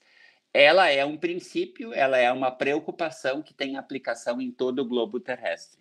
O princípio da não discriminação, que é um outro princípio extremamente importante, o princípio da qualidade e segurança, o princípio da transparência, imparcialidade e justiça. Então, veja que são todos princípios que nós estudamos desde o primeiro semestre da nossa graduação em Direito. Então, vocês vejam como esse, essa parte do estudo dos princípios vem ganhando gradativamente importância. E, finalmente, a União Europeia considera o princípio é, sob controle do usuário, ou seja, impede uma abordagem prescritiva e garante que os usuários sejam atores informados e controlem as escolhas feitas. Então, veja, essa é, é esse é melhor um conjunto de princípios que nós podemos trazer para o nosso direito, porque nós temos vários deles, inclusive inscritos na própria Constituição, e que podem, portanto, então assegurar, não é, esse princípio fundamental que tem a ver com o direito à informação, que também é um princípio fundamental da nossa estrutura jurídica, que nos garante o direito de ser informado, né? que garante então a nós o direito de saber como aquela decisão foi tomada. E fora isso, eh, nós temos várias outras organizações, como por exemplo eh, a ISO, não é? A ISO, que é justamente esse organismo internacional de normalização, que no Brasil é representado pela ABNT. Então, a ISO também tem normas sobre a utilização segura dos robôs e outras é, organizações internacionais pelo mundo afora também é, têm a utilização, então, e, e, e, a publicação de princípios relativos é, à inteligência artificial. E é interessante, já que nós estamos falando para um público da área do direito, não é? Que se precisa assegurar, e isso também vem em publicações uh, recentes, uh, sobre como a inteligência artificial vai lidar com a prática do direito. Porque hoje existe toda uma controvérsia sobre a criação desses sistemas, a criação, como se falou, das legal techs, não é, e das law techs, e existe hoje uma, uma preocupação, inclusive a OAB, ela, ela está preocupada com isso, que essas legal techs, essas law techs, enfim, essas startups que estão operando com é, questões jurídicas, por exemplo, a mediação de conflitos, é, a preparação de documentos e assim sucessivamente. Existe uma gama grande é, dessas startups jurídicas. É, é preciso garantir, então, que no comando desse sistema esteja um profissional do direito. Então, essa é uma, uma grande questão é, que nós, do direito, precisaremos é, lutar, né? E, e que tenha, enfim, um, um, profissional, por exemplo, dependendo do que vai fazer, um profissional que tenha é, a inscrição regular na OAB. Então, esse é um tema muito importante também, que vocês poderão discutir ao longo desse evento, e é preciso justamente avaliar a efetividade desses mecanismos de inteligência artificial sem descuidar da fundamentação jurídica dos sistemas que estão justamente gerando eh, essas respostas. Claro que são respostas ágeis, são respostas com qualidade que todo mundo quer, mas é preciso assegurar que nos bastidores desse sistema esteja efetivamente um profissional eh, gabaritado, um profissional formado, titulado, inscrito na OAB que tenha efetivamente passado por uma faculdade de direito. E com isso eu já começo a me encaminhar para o final, porque cada vez mais, com todo esse cenário de dados, de princípios e de ambientes de inovação para fazer a, a testagem uh, uh, dessas estruturas de autorregulação dessas uh, tecnologias, seja da inteligência artificial ou das nanotecnologias e de outras, elas vão operar naquilo que a literatura tem chamado de ambiente regulatório, né? Um ambiente regulatório em que justamente a gente pode operar com um pluralismo normativo, segundo eh, alguns autores, e que vão trabalhar numa combinação de normas jurídicas, e vocês sabem bem dessa lição a partir do Robert Alexi. Eh, norma jurídica, ela é é, um, um, grande, uma grande categoria, não é, que tem espécies. Então, duas principais espécies de normas jurídicas são as regras, a legislação, por exemplo, e os princípios. Então, veja, quando nós falamos em princípios, nós também estamos falando de normas jurídicas. Mas, além disso, além dessas normas jurídicas, nós também precisamos aprender a lidar e a aplicar e atribuir efeito jurídico as normas técnicas, como, por exemplo, as normas ISO, não é? que vêm para o Brasil por meio da ABNT. Então, esse é um detalhe importante, né? porque é, ele projeta, é, e essa é, foi a minha perspectiva na apresentação de hoje de manhã, ele projeta justamente é, a inovação para dentro do estudo do direito ele propõe, então, justamente que nós possamos também é, ter laboratórios para a testagem das estruturas normativas, e ele propõe é, principalmente essa questão de que o direito ele acompanhe o desenvolvimento tecnológico que está em curso. Por que, que eu estou destacando isso? E com isso eu encerro a minha apresentação. Por quê? Porque se o direito não se der conta, e nós que estamos no direito, nós professores, nós alunos, nós pesquisadores, provavelmente, eu não tenho uma bola de cristal e eu não tenho uma certeza absoluta, mas eu vejo é, cenários sendo construídos em outras áreas do conhecimento que não são a área do direito, de que essas áreas, as áreas é, técnicas, as áreas é, exatas, elas estão propondo regulação. Elas estão discutindo regulação e elas estão aplicando e respeitando essa regulação que essas áreas produzem, sem a participação do direito. Então, esse é um alerta que eu deixo para todos, que primeiro, o direito precisa perceber que nós estamos é, caminhando em um cenário é, se não quiserem chamar de quarta revolução industrial, mas nós estamos caminhando em um cenário de uma alta eh, transformação tecnológica que vai exigir do direito uma regulação também que seja adequada, que seja tanto adequada no tempo em que a legislação ou a regulação em geral for formulada, e que seja também adequada na flexibilidade e especialmente que ela seja adequada para não criar bloqueios ao desenvolvimento da inovação. Tá certo, gente? Foi uma honra para mim poder falar para vocês esta manhã, tá? É, o meu e-mail depois vocês podem conseguir com o professor Cristiano ou o professor Otto, tá? Eu estou à disposição para conversar com vocês agora, se nós tivermos tempo, mas também estou à disposição para conversar com vocês por e-mail. Muito obrigado pela atenção. Muito obrigado, Dr. Wilson Engelmann, pela brilhante explanação.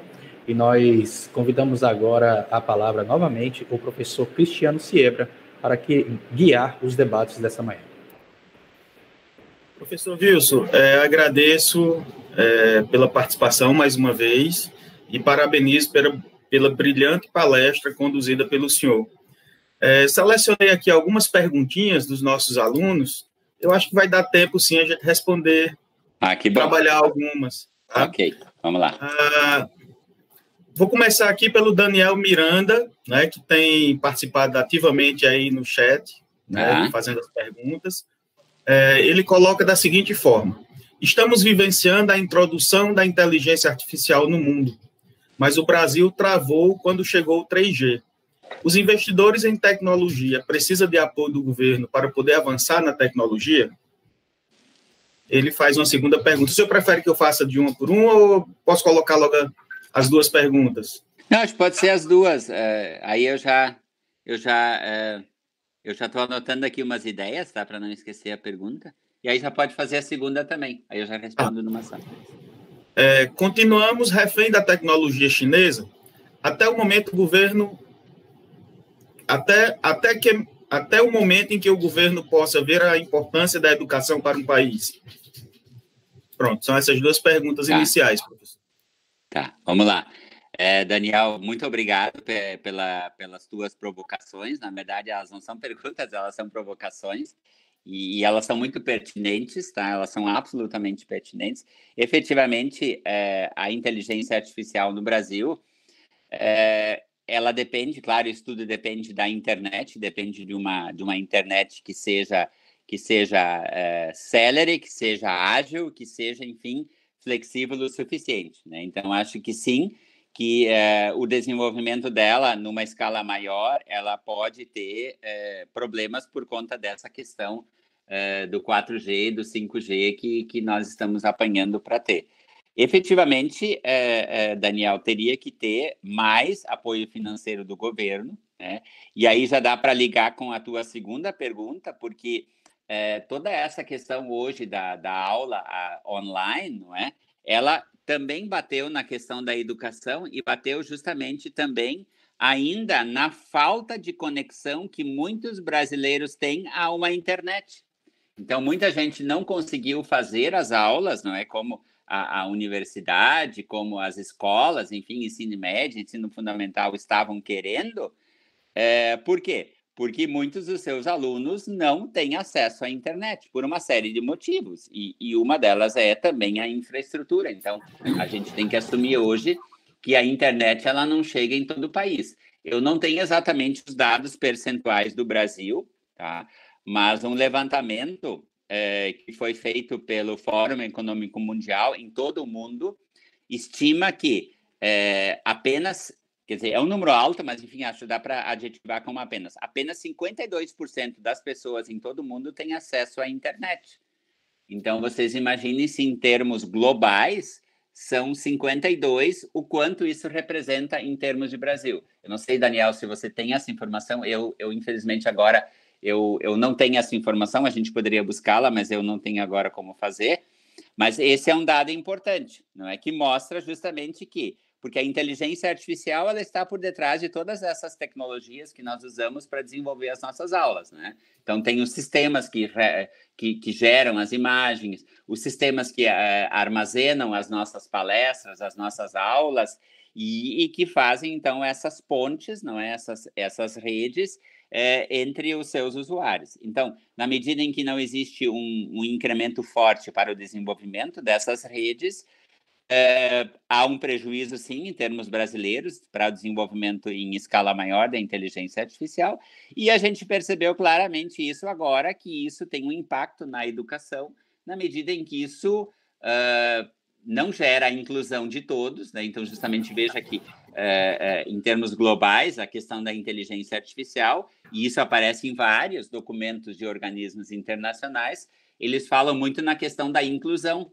então, não é inteligência artificial para alguns, para os mesmos, para os melhores, entre aspas, para aqueles que têm condições. Não. A ideia é justamente que isso possa ser acessível para todos, ou para 90% ou mais de 90% das pessoas. Então, essa é uma questão efetivamente importante. Quanto à questão da tecnologia chinesa, eu diria, Daniel, sim e não. Tá? Por quê?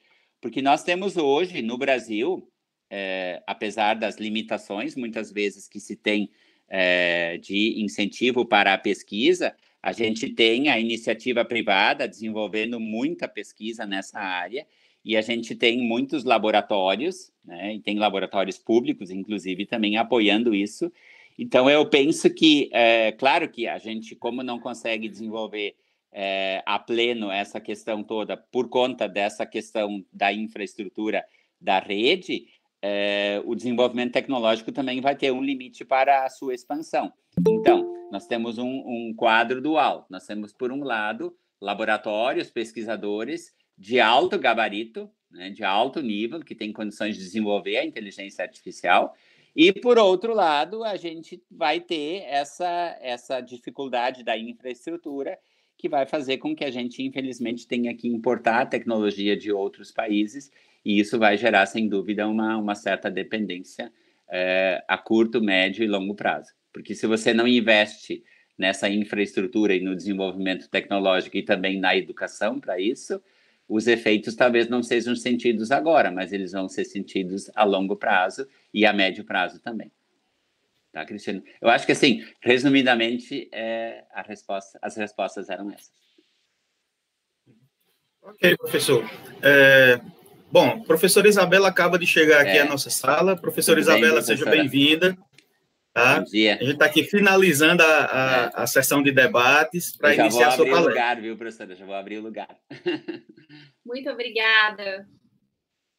Tá Professor Wilson, aqui tem só mais duas perguntas tá, para a gente finalizar. Uh, o Jason Stone, ele gostaria de saber como foi o desafio da pesquisa, não só no ano de pandemia, mas durante todo o período em que houveram os cortes, né, na, no, no, nos incentivos à pesquisa. Tá. E para finalizar, o Luiz Guilherme Bezerra, perdão, a Eugênia, ela gostaria de saber como a pandemia colaborou para o avanço da tecnologia. Tá.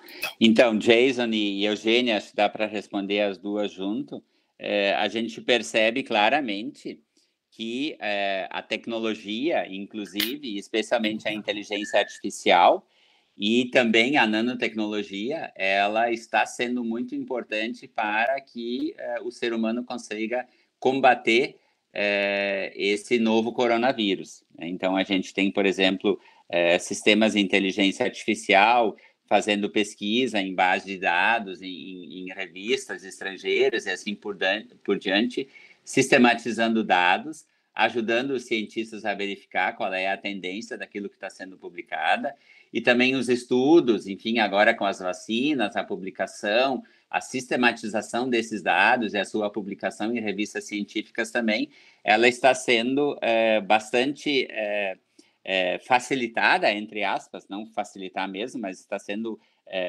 acompanhada pelo uso dos sistemas de inteligência artificial, tá?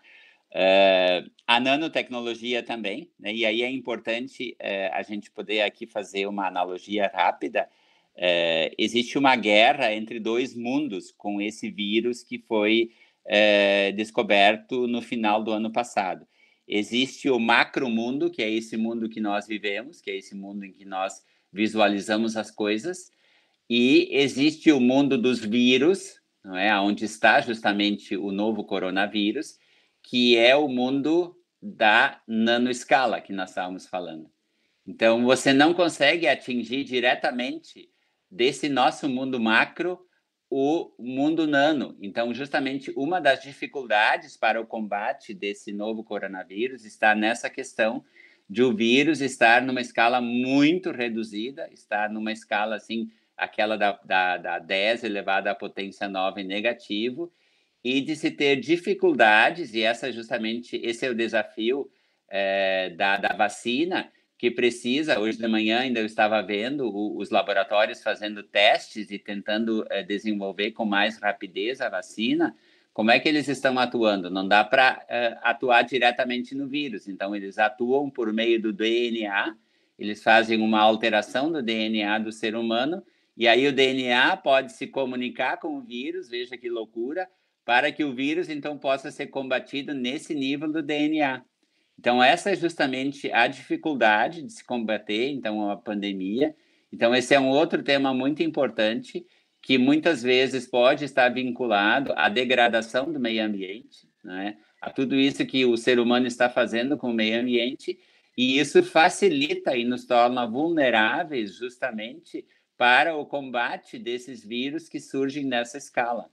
Então, essa é uma questão também extremamente importante que deve permear esse evento da, da Unileão, na medida em que é, a valorização do meio ambiente pode ser indiretamente também um caminho para a gente controlar essas pandemias que, segundo alguns cientistas, elas vão se tornar mais comuns a partir desse momento. Então, talvez o novo coronavírus tenha sido apenas mais um.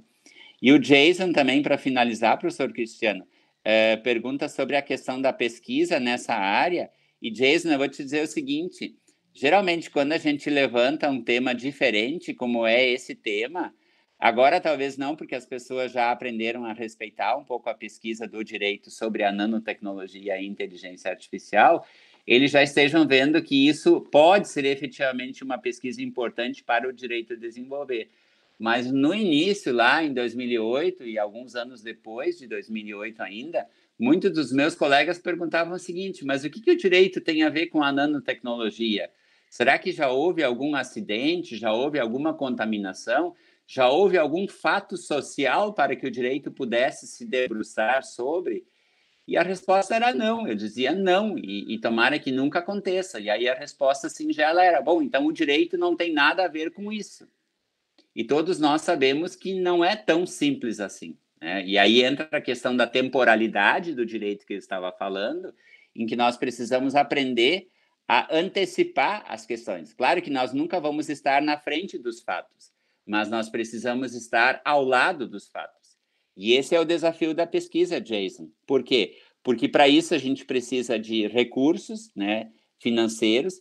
É, felizmente ainda Claro que a gente não ganha na mesma proporção que os nossos colegas das áreas exatas, mas isso também tem uma certa razão, porque eles precisam é, comprar é, equipamentos, insumos, enfim, uma série de questões. É, e nós, muitas vezes, operamos a partir de base de dados, a partir de pesquisa bibliográfica, agora começando com pesquisa de campo, que precisam de investimentos financeiros menores, mas que felizmente ainda a gente tem recebido, tanto dos órgãos estaduais, das fundações de amparo à pesquisa do nosso, do estado aqui do Rio Grande do Sul, no caso, como também do CNPq e da CAPES. Então, é, existe, existe interesse, então, nessas áreas, né? inclusive é, essa, essas áreas tecnológicas, elas são consideradas temas prioritários dentro do Ministério da Ciência, Tecnologia e Inovação, e por isso eles têm recebido sempre uma atenção especial nos editais para uh, o apoio a projetos de pesquisa. Tá certo, professor? Eu não sei se, se eu respondi uh, adequadamente, mas também para não invadir uh, o tempo da professora Isabela. Ok, professor. É, professor Wilson, mais uma vez eu agradeço a sua participação. Eu fico muito feliz dessa aproximação da Unicinos com a Unileão. Né? Tenho certeza que essa, essa parceria é, trará bons frutos, né? E aproveitando a oportunidade para divulgar o nosso programa de mestrado em Direito de Empresa e dos Negócios, né? Em parceria com a Unicinos, tá? E quem tiver interesse em participar, tá lá no chatzinho da, perdão, tá lá no site da, da faculdade, todas as informações e o edital publicado. Né? Então, Kiosh, professor Vils, muito tá obrigado. Tá Kiosh, eu passo a palavra para você, o nosso mestre de cerimônia, para a apresentação da professora Isabela. Tá, ok. Obrigado pela atenção. Tchau, pessoal. Eu vou ficar um pouquinho aqui para prestigiar a professora Isabela, tá? mas muito obrigado pela atenção. Muito obrigado novamente, professor Wilson Engelmann, pela brilhante explanação. É, nós informamos a todos que a lista de frequência dessa manhã será compartilhada no chat do YouTube ao final da segunda palestra. Nós partiremos agora para um pequeno intervalo Retornaremos em instantes com a segunda conferência desta mesa temática. Até já!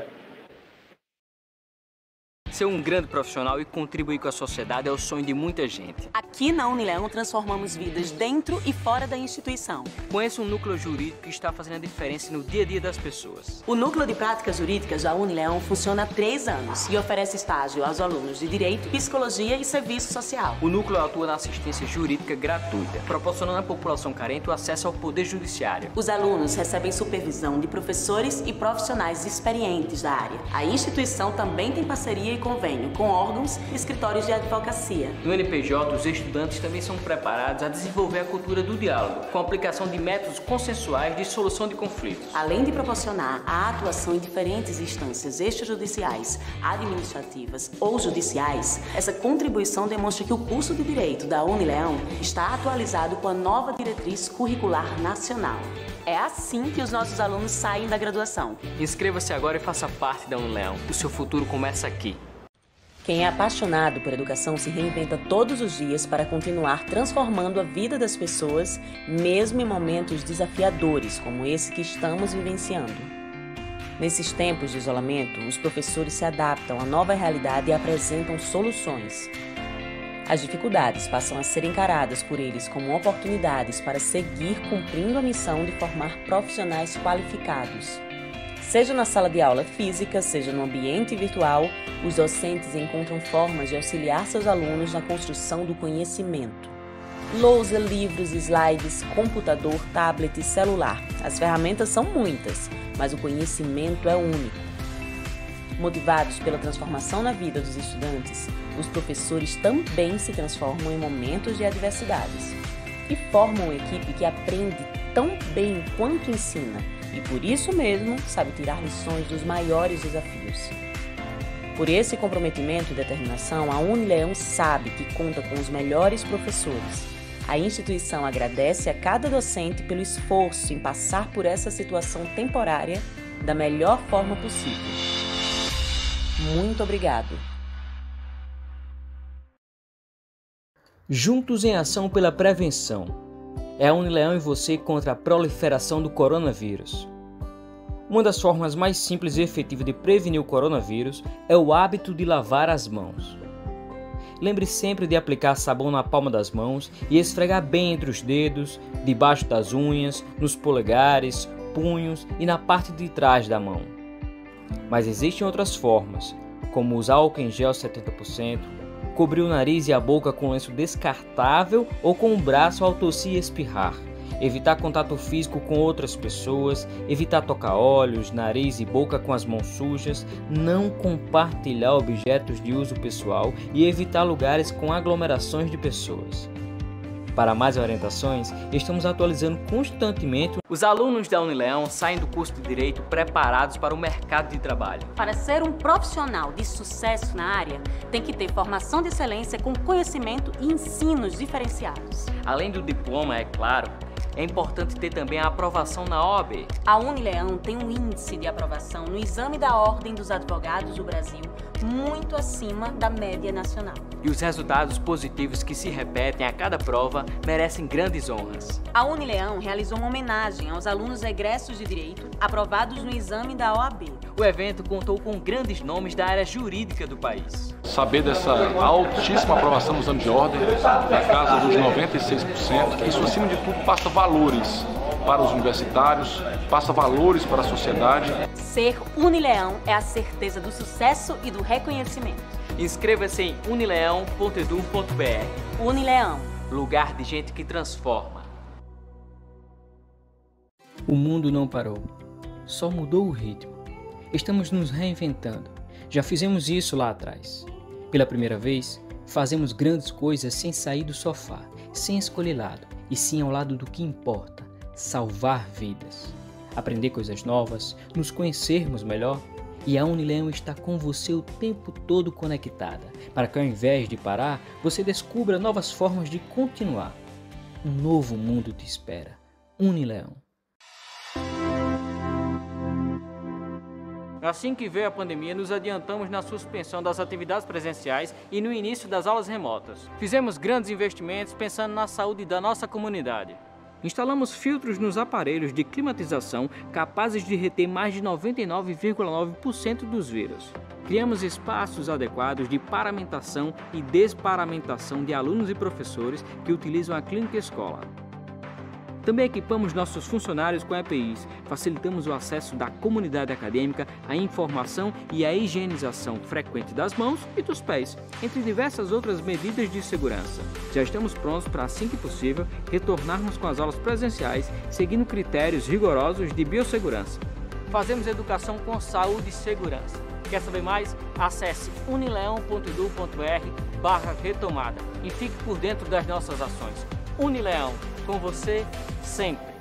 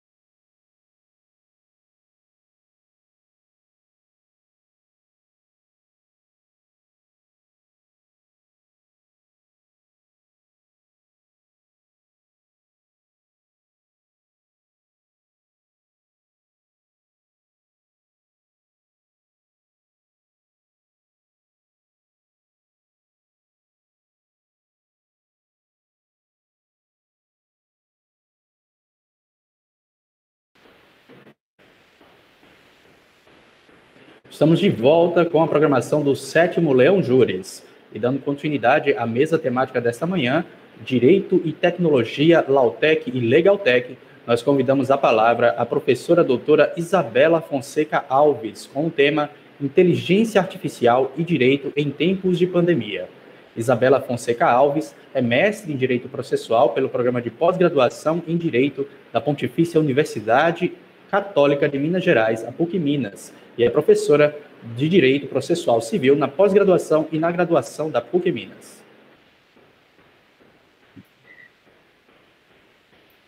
Bom, inicialmente quero cumprimentar a todos é, na figura dos professores Cristiano. É, é, um prazer estar com vocês aqui hoje, é, no Ceará, né? Estou falando diretamente aqui de Belo Horizonte, Minas Gerais para falarmos, dialogarmos sobre uma temática extremamente importante na área jurídica hoje, que é a inteligência artificial. Infelizmente, não pude presenciar a última palestra, estava numa reunião, mas tenho certeza que foi incrível, né? Uma temática assim que a gente tem que muito dialogar, criar ambientes dialógicos ao máximo com os nossos estudantes, porque traz muitos impactos na área jurídica. Pessoal, inicialmente, para que vocês entendam né, do que nós estamos tratando, do que eu estou tratando na minha palestra, eu queria elencar para vocês uma diferença crucial entre softwares jurídicos que trabalham com inteligência artificial e softwares que não utilizam de inteligência artificial e só utilizam de uma certa automação. Então, quando eu falar com vocês sobre inteligência artificial, eu vou estar tratando do que nós chamamos de machine learning, né? De aprendizado de máquinas, algoritmos, que nós consideramos que são algoritmos não supervisionados, que trabalham com machine learning, ou seja, quase uma reprodução da mente humana, quase, e que conseguem aprender por si só. Quando eu falo que existem softwares na área jurídica que trabalham com automação e outros que trabalham com inteligência artificial, é que a grande maioria dos que nós temos hoje escritórios, inclusive em sistemas eletrônicos de peticionamento, são softwares de mera automação. Tá? Eles podem sim trazer para a gente uma realidade muito interessante dentro dessa questão, uma maior celeridade de custo, uma, uma questão organizacional, administrativa, mas eles não vão muito além disso. Tanto que você pode perceber o quanto alguns temas são burros, né? A gente costuma dizer, porque não basta, por exemplo, a sua petição, uma pessoa do sistema lá vai ter que atualizar aquele sistema, intimar a outra parte para aquela manifestação. Ou seja, por si só, ele não vai se desenvolvendo sozinho. É um software de mera automação. Agora, quando a gente fala sobre inteligência artificial, pessoal, é algo extremamente mais avançado. Eu costumo dizer que todos que me assistem em palestras no Brasil inteiro falam: estou impactado, não sabia que estávamos tão avançados a esse ponto. Quero dar um panorama para vocês do uso da inteligência artificial na área jurídica, tanto no Poder Judiciário brasileiro, né, na função jurisdicional, quanto em grandes escritórios. E para isso eu preciso introduzir para vocês como que está o uso da inteligência artificial, o que, que realmente é essa inteligência artificial na área jurídica em outros países. Bom, recentemente, em Londres, né, foi pesquisa dos principais escritórios londrinos para saber será que eles já estão usando o oficial e o que, que é essa inteligência artificial. Mais de 45% dos escritórios de Londres já utiliza inteligência artificial em seus escritórios. E mais de 40, 41% vão começar a implementá-la em breve. Ou seja, nós temos um panorama de mais de 90% dos escritórios londrinos que utilizam ou vão utilizar da inteligência artificial. Nos Estados Unidos, e só para fazer um, um aporte aqui, Uh, nós temos uma advocacia bem diferente do que acontece nos Estados Unidos, então é difícil até a gente fazer um direito comparado, é um perigo às vezes trabalhar com direito comparado, mas para que vocês tenham uma noção, sabemos que os escritórios é, nos Estados Unidos de grande porte são escritórios com mais de mil advogados. É bem diferente do patamar que nós temos aqui no Brasil, que escritórios de grande porte são escritórios de 100 advogados, né? E lá, médio, pequeno porte, 90 a 150 advogados. Então, só para que vocês tenham a percepção que são premissas diferentes, né, de tamanhos. Mas lá nos Estados Unidos, os escritórios de grande porte, a grande maioria, já investe em inteligência artificial. E o que, que a gente costuma perceber? Somente os de pequeno porte ainda não fazem os investimentos em inteligência artificial, ou mesmo ainda não sabem do que, do que se trata a IA e como podem implementá-las no seu cotidiano, na sua habitualidade forense. Bom, mas aí você vai me perguntar, professor Isabela Fonseca, o que, que faz essa inteligência artificial em um escritório nos Estados Unidos, por exemplo? Bom, nós temos dois robôs extremamente famosos mundialmente. Primeiro, Watson, né, que é a plataforma cognitiva da IBM, e o Ross. Ross foi conhecido como um dos primeiros robôs advogados do mundo. Claro que existe muita propaganda aí, né? Eu falo assim, pessoal enfeita um pouco, porque você até pensa, gente, um robô advogado? Não, é um software que praticamente trabalha com machine learning, com inteligência artificial, com algoritmos não programados, redes neurais profundas e que vai desempenhar tarefas que muito mais um software desse de mera automação não faz. Como assim? Vamos pensar no Watson, num grande escritório nos Estados Unidos. O Watson hoje ele tem funções extremamente interessantes. Primeiro, o Watson consegue acessar numa perspectiva de jurisprudência, milhares de decisões em dois, três segundos. Então, enquanto você aqui no Brasil perde tempo procurando uma decisão que se encaixa naquele seu caso para respaldar o seu pedido ao juiz, lá o Watson acessa todo o panorama de decisões em segundos e traz todos os dados parametrizados.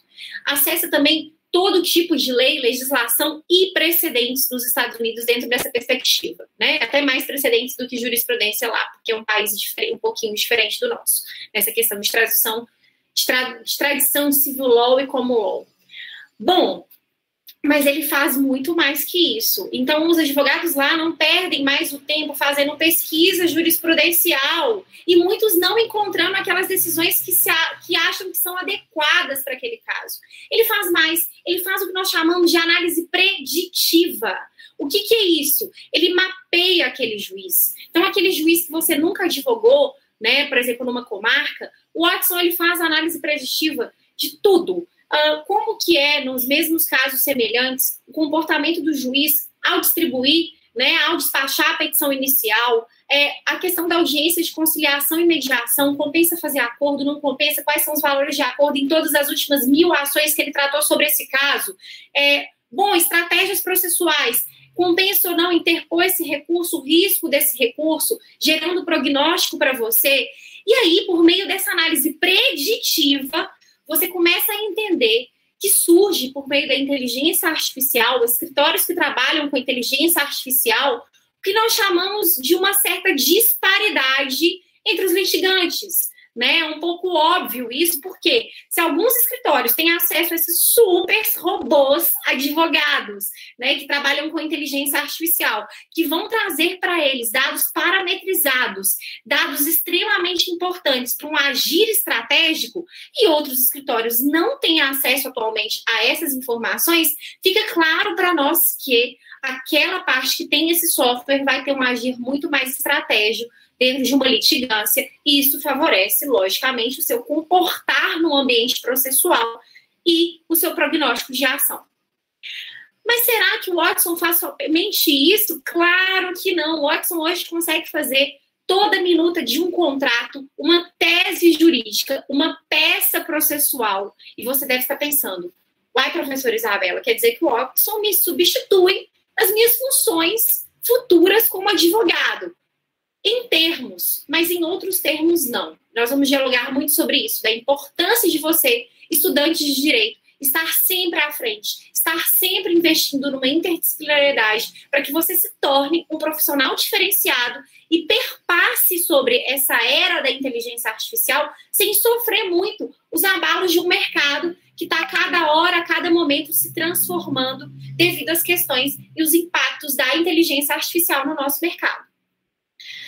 Bom, então nós podemos enumerar que o Watson nos Estados Unidos vai fazer essa análise preditiva estratégica, que é super importante quando a gente pensa nesses casos né, de grande repercussão, e nesses casos você precisa fazer análises é, jurimétricas, e aí é um software que vai trabalhar com jurimetria, né, que é você realmente partir de vários dados e informações e trazer dados parametrizados para você conseguir um agir estratégico, e também é um software que vai é, trabalhar com Big Data, ou seja, como é que ele consegue acessar milhões de informações? Ele tem um banco de dados surreal para ele acessar, o que era muito impossível uns anos atrás e hoje é completamente compreensível. O ROS, ele vem muito nesse sentido, também trabalha com essa plataforma da IBM e é muito parecido com o Watson dentro dessa formação do que quais seriam os principais efeitos dele num escritório de advocacia norte-americana e em outros países. Aí você me pergunta, como é que está a inteligência artificial, professora Isabela, no Brasil? Já estamos nesse nível? Bom, primeira notícia que eu quero contar para vocês. Nós já temos aí a plataforma Watson em alguns escritórios do Brasil, principalmente é bem recente as divulgações dos dados que nós temos. O escritório do Recife é, recentemente publicizou uh, o quanto ele investiu em inteligência artificial nos últimos dois anos. Foram 3 milhões em investimento, ou seja, é caro investir em inteligência artificial não é um software de mera automação, tá? É um software com algoritmos, com redes neurais profundas, que consegue fazer uma peça processual, que consegue ter acesso a essas milhares de informações. Então, é bem diferenciado do que a gente fala de uma mera automação. E aí, esse escritório divulgou, né? Colocou o nome da plataforma Watson de Carol, a Robocarol. A Robocarol, ela não apenas faz algumas funções que nós consideramos uh, como essenciais de demandas repetitivas, como leitura de alguns recursos, organização de gestão do escritório, mas estão preparando a Robô Carol para cada dia mais ela estar evoluindo em outras tarefas que não meramente repetitivas. Ela tem potencial para isso. Por quê? Porque ela trabalha com algoritmos, né, como se diz, não supervisionados, algoritmos é, que conseguem ter um aprendizado de máquina, algoritmos que aprendem por si só, e aí faz com que ela consiga explorar outros campos. Quais são as consequências disso, professora Isabela? Bom, nós temos algumas situações concretas exemplificadas em um outro escritório, eu não vou citar nomes para a gente não fazer propaganda de vários escritórios aqui na nossa palestra, mas um escritório famoso, uh, nacional, em nível nacional, com várias sedes, é, publicizou recentemente o investimento pesado em inteligência artificial e quais foram os dados advindos desse investimento. Primeiro, redução para mais da metade do número de advogados. Resumindo, o advogado demitiu metade dos seus, o advogado não, o escritório, perdoa, uh, demitiu metade dos seus advogados. Aí você me fala, mas qual o perfil desses advogados que foram demitidos? Advogados que trabalhavam em demandas de massa, demandas repetitivas. Sabe aquele famoso copia e cola que é muito habitual em grandes bancadas? O advogado chega, ele tem no mínimo 20 recursos para fazer no dia, ele tem que adequar a parte fática, a tese já está pronta, muda o número do processo, faz o pagamento da guia. Em suma, esses advogados foram substituídos por um robô nesse escritório que chama um robô clicador, que simplesmente faz o que um setor inteiro de massa fazia em questão de instantes. Ele faz essa tese com muito mais êxito, ele faz esse copia e cola com muito mais êxito. Então, esse escritório nos demonstrou essa demissão em massa, né, assim, de metade do número dos advogados, com uma substituição grande por esse robô, aumento, duplicou o número de processos no escritório. Então, hoje tem um, um, uma carteira aí de mais de 500 mil processos, e disse que descobriu a importância do advogado para questões realmente intelectualizadas, para questões realmente de gestão e de captação de clientes. Então, os sócios majoritários falam: olha, a gente quer nossos advogados aqui uma função essencialmente essencial e, e impactante para o nosso cliente.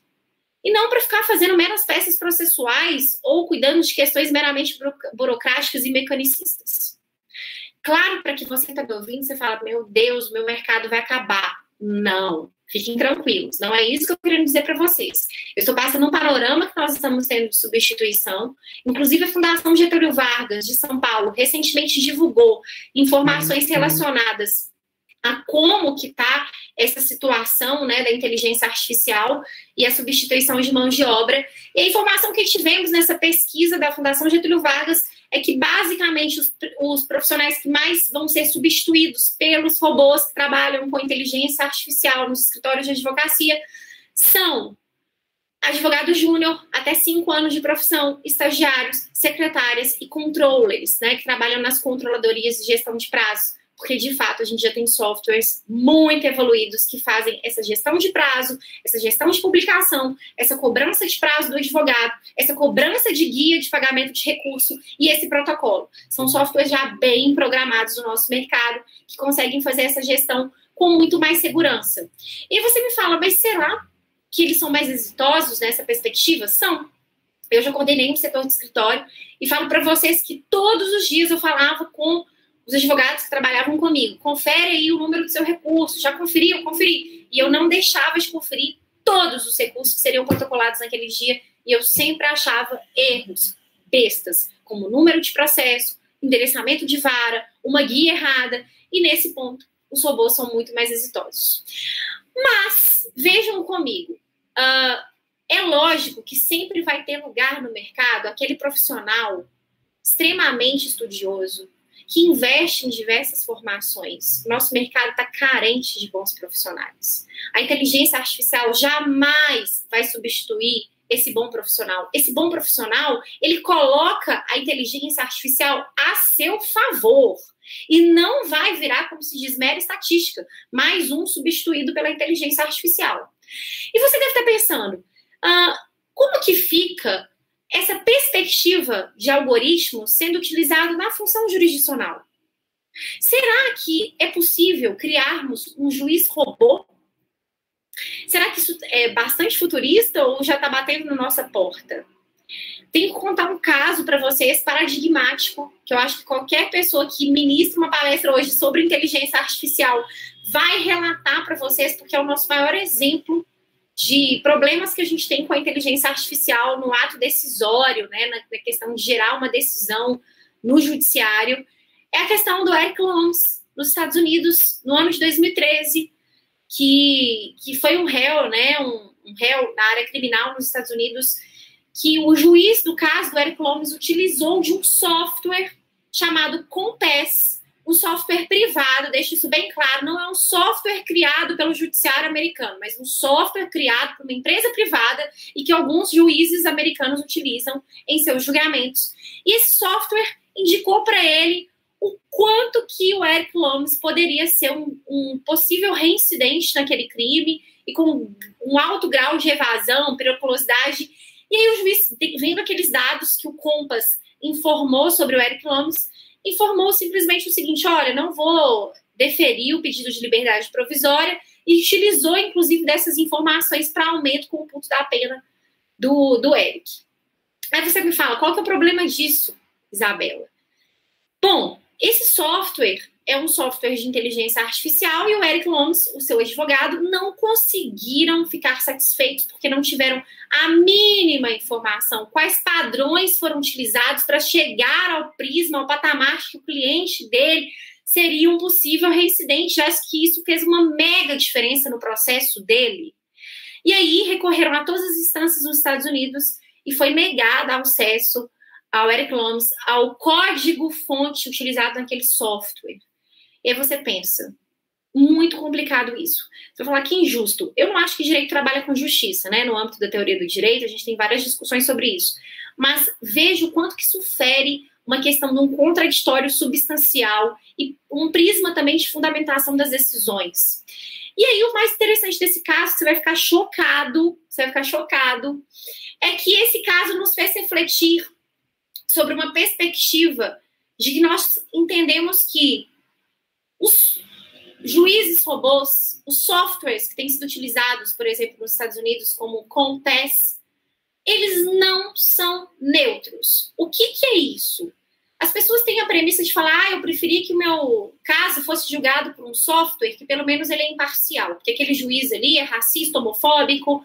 Ah, são os famosos cognitive biases, né? Vieses cognitivos que a gente sabe que alguns julgadores têm e conseguem manifestar claramente em suas decisões. Você percebe que, que o juiz é enviesado contra aquela causa, contra aquela parte, porque ela é afrodescendente, porque né, ela é LGBT, em suma.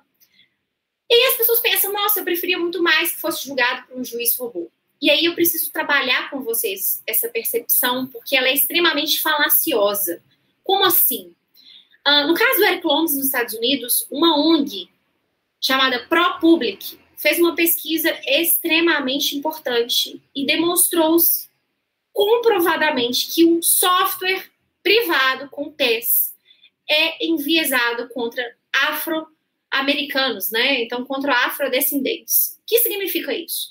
Toda vez que o COMPES pegava uma pessoa afrodescendente, ele classifica essa pessoa como possível reincidente, grau, alto grau de evasão e periculosidade. E aí você fala, mas como que ele pode estar com esse enviesamento? Nossa, eu poderia citar para vocês milhares de situações de enviesamento que partem, fogem da premissa do, do programador daquele software. Né? Eu vou dar alguns casos elencados aqui para vocês durante a palestra. Mas isso nos chamou muita atenção porque você utiliza um software privado, um caso judicial que leva né, a uma situação que a, o máximo de gravidade, quando a gente pensa na utilização do direito penal, né, a última rácio, uma pena privativa de liberdade, que a pessoa não tem acesso ao código-fonte que foi utilizado pelo software e que se descobre que aquele software é extremamente enviesado. Vocês já pararam para pensar como seria isso no Brasil? Em que os nossos padrões de dados carcerários, infelizmente, todas as pesquisas mostram um padrão. 95% dos nossos presos são afrodescendentes e de famílias humildes.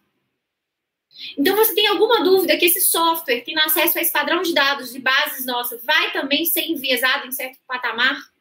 Como é que é difícil você trabalhar com padrões que não estejam enviesados até no ato de programação? Então, é algo muito sério. A gente precisa começar a entender.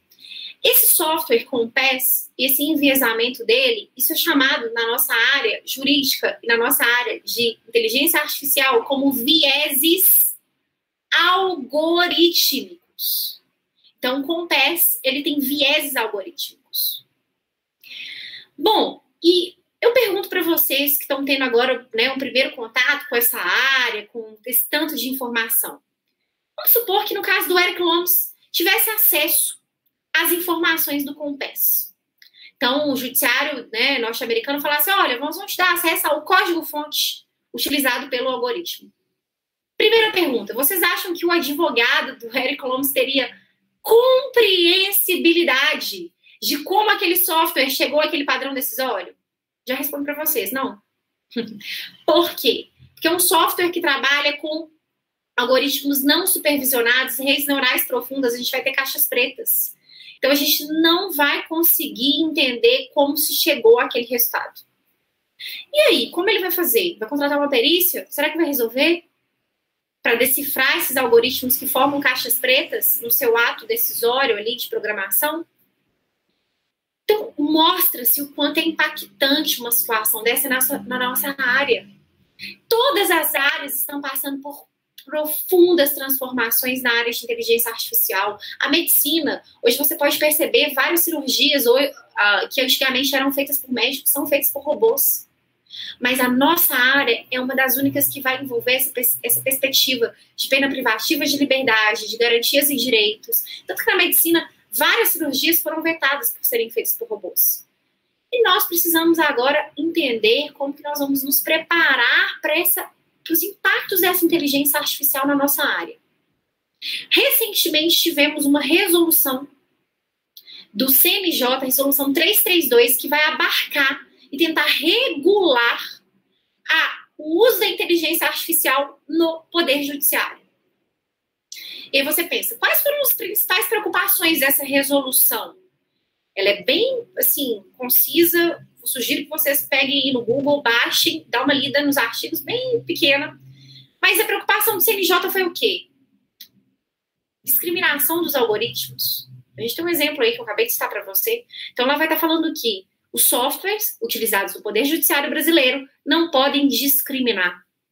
Outra preocupação: transparência algorítmica. Você tem acesso ao código-fonte, você tem acesso a como aquele software se comporta. Então, vai ter um artigo lá falando que tem que haver publicidade, transparência algorítmica. acesso das partes a essa questão dos algoritmos. Maravilhoso, gostei demais da resolução. Mas vou dar um super spoiler. Não tem aplicabilidade atual. Porque a grande questão ela não trouxe como aplicá-la. Porque, de fato, essa questão legislativa é extremamente interessante. Mas, afinal de contas, como de fato aplicar isso? Se eu mal consigo saber se o software hoje é ou não enviesado. Então, como que eu vou falar que ele está sendo discriminatório? Como que eu vou ter todo esse padrão de transparência algorítmica? Que nós já percebemos que não é somente ter acesso ao código-fonte, mas é ter acesso a uma compreensibilidade daquele padrão decisório seguido por aquele software. Você deve estar pensando, meu Deus, que matéria complexa. Sim, né, estamos emergindo cada vez mais esse mundo da, da inteligência artificial para trazer algumas premissas para a nossa área jurídica e podermos realmente dialogar sobre os impactos dela na nossa área. Já percebemos que em demandas de massa vai e já está acontecendo uma substituição né, de alguns profissionais. E aí, para afindar nosso raciocínio, né, eu tenho aqui 30 minutinhos, eu queria dialogar um pouquinho com vocês também sobre outro, outra perspectiva interessante, que são os robôs que têm sido utilizados no judiciário. E aqui eu quero fazer duas distinções. Eu não estou tratando dos sistemas de peticionamento eletrônico, que agora estão mais essenciais ainda na pandemia. Hoje a gente tem não só peticionamento, audiência eletrônica, eu não estou tratando desses sistemas. Eles são sistemas que trabalham com mera automação, por isso que eles dão pau, por isso que eles são um problema danado na vida do advogado. Eu estou tratando aqui do investimento claro da nossa função jurisdicional em robôs que utilizam de inteligência artificial. Já temos o Victor, o Sócrates no STF no STJ, temos diversos nos tribunais de justiça, a Elis no Tribunal de Justiça de Pernambuco, Sinapse no Tribunal de Justiça de Rondônia, Radar no Tribunal de Justiça de Minas Gerais. Todos trabalham com machine learning, algoritmos não supervisionados e vão ter funções extremamente importantes. Bom, mas quero que vocês comecem a refletir comigo. Por exemplo, o robô que é utilizado hoje no STJ, ele diminui muito o tempo de apreciação meritória daquele recurso especial. Mas, assim, é muito o tempo que ele reduz. Uh, o que trabalha no STF, no âmbito dos recursos extraordinários, faz com que uh, ele consegue olhar se há uma repercussão geral naquele recurso extraordinário e classificá-lo ali de acordo com as repercussões gerais. A pergunta que eu quero fazer para vocês. Primeiro, estamos tendo a devida publicidade do quanto que esses robôs têm evoluído internamente nas cortes? Já respondo para vocês. Não. Eu faço pesquisas assim diariamente tá? Meus livros hoje são todos de inteligência artificial. Estou no meu quarto livro de inteligência artificial lançado por mim. E falo para vocês que aqui em Tribunal de Justiça de Minas Gerais a maior dificuldade que eu tenho é saber o que, que o radar está fazendo no âmbito do Tribunal de Justiça. É, semana retrasada eu consegui acesso a uma assessora que trabalha no âmbito dessa inteligência artificial e falou: vou te passar umas informações. Então, a premissa inicial resolução 332 do CNJ já está sendo descumprida. Porque, de fato, quando você. As informações são sempre as mesmas na internet. Tudo que eu tenho nos meus livros é o que vocês vão achar no Google. Mas mais que isso, quando, por exemplo, o Tribunal de Justiça soltou a informação que o radar, em um clique, julgou 1.500 processos, isso já tem um ano e meio. E eu gostaria de saber como é que está o radar. Será que ele já está realmente produzindo várias minutas de decisão e o juiz está só assinando? são informações extremamente importantes para nós, jurisdicionados, cidadão. E aí, eu quero que vocês fiquem com a seguinte reflexão: será que a função jurisdicional hoje ela está utilizando da inteligência artificial em pró-judiciário? Ou seja, para trazer celeridade, redução de custos e tudo bonitinho para os juízes, para o judiciário? ou é para o jurisdicionado? Essa é uma das reflexões assim que eu tenho mais feito. A partir do momento que você é jurisdicionado, não tem acesso a informações básicas de cada software que tem sido utilizado. E mais que isso, né? E a gente pode fazer uma reflexão aqui para o setor privado. Será que o uso dessa inteligência artificial em grandes bancadas, e são exceções, né? Assim, dentro do nosso panorama aqui de uma advocacia brasileira. A gente hoje trabalha com bancadas menores, né? Escritórios pequenos e médio porte. As grandes, grandes bancadas são exceção, por quê? Porque qual escritório que tem 2 milhões para investir em inteligência artificial hoje? Softwares de inteligência artificial do panorama que eu estou tratando com vocês são caros hoje no mercado. Apesar que nós temos um mega investimento em legal techs, né, startups da área jurídica que estão cada vez mais desenvolvendo softwares para os escritórios, inclusive tem grandes bancadas que criam startups próprias para desenvolver o software. Pega um advogado bom lá do escritório, vão contratar um pessoal aqui do TI, do, do pessoal de ciência de computação e vão fazer um software juntos aqui, ainda vão vender para outros escritórios.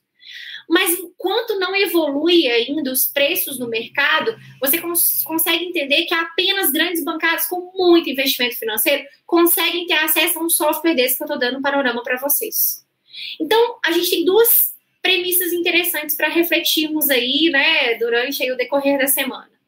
Primeiro, a função jurisdicional está trazendo uma certa celeridade realmente, com o uso do Victor, do Sócrates, do Radar, da Elis, uh, e de vários outros robôs que eu poderia enumerar para vocês, mas meu tempinho já findou.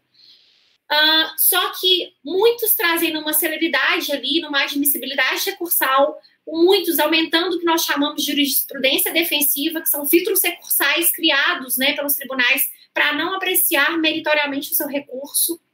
Então, a princípio, é mais a favor do judiciário do que do próprio jurisdicionado. E, no âmbito privado, uh, vamos ter sim uma era enorme de disparidade entre os litigantes. Porque vocês que não ainda não tiveram acesso a um software desse, eu queria dizer para vocês que é assim, não tem comparação ao litigar estratégico que gera para um advogado que tem acesso a essas informações jurimétricas, advindas de uma big data, que ele vai conseguir realmente trazer um padrão de como se comportar no processo. Ele sabe a hora de propor um acordo, ele sabe o valor exato que o juiz trabalha. Ele sabe o se comportar do juiz perante mais de 2 mil processos semelhantes. Ou seja, é muito assim difícil criar balizamentos de uma simétrica paridade quando se pensa nesses sujeitos processuais abarcados. Um que tem um software desse e o outro que não tem. Bom, findou meu tempo, os 30 minutos. Eu quero agradecer por estar com vocês aqui hoje. Foi um prazer. Vou deixar aqui para quem gosta da temática, ficou assim realmente interessado na temática, vou deixar meu Instagram. Meu Instagram tem várias dicas, tem um canal meu do Telegram, 0800, que eu também posto vários áudios explicando essas matérias de inteligência artificial.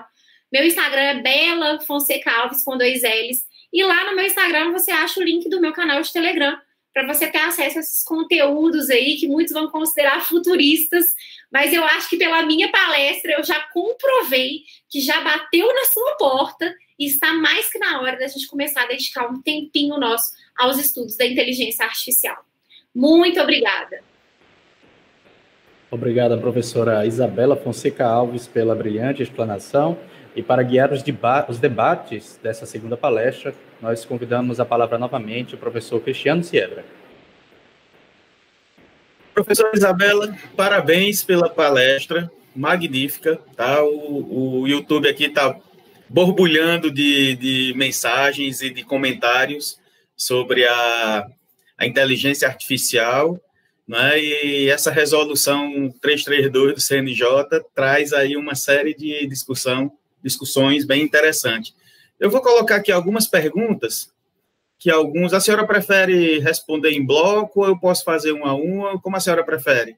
Vamos fazer uma a uma, que eu já vou respondendo? Tá, ok. Uh, o Luiz Guilherme ele faz um questionamento, tá? Acerca da se a senhora tem é, ideia de quantos veículos é, lá nos Estados Unidos se utilizam o, o Tesla, né? Que é a, a, o robô, né? Dos veículos lá dos Estados Unidos. Se a senhora tem ideia do percentual de utilização do Tesla? É, como é que ele chama? Luiz Guilherme. Luiz Guilherme, eu não tenho os dados aqui certinho, né? Estou fazendo minha palestra aqui como a mão livre, mas nós temos pesquisas, sim, igual a plataforma Watson, é, nós temos percentuais. Me manda uma mensagem aí no direct do Insta que eu te mando as pesquisas.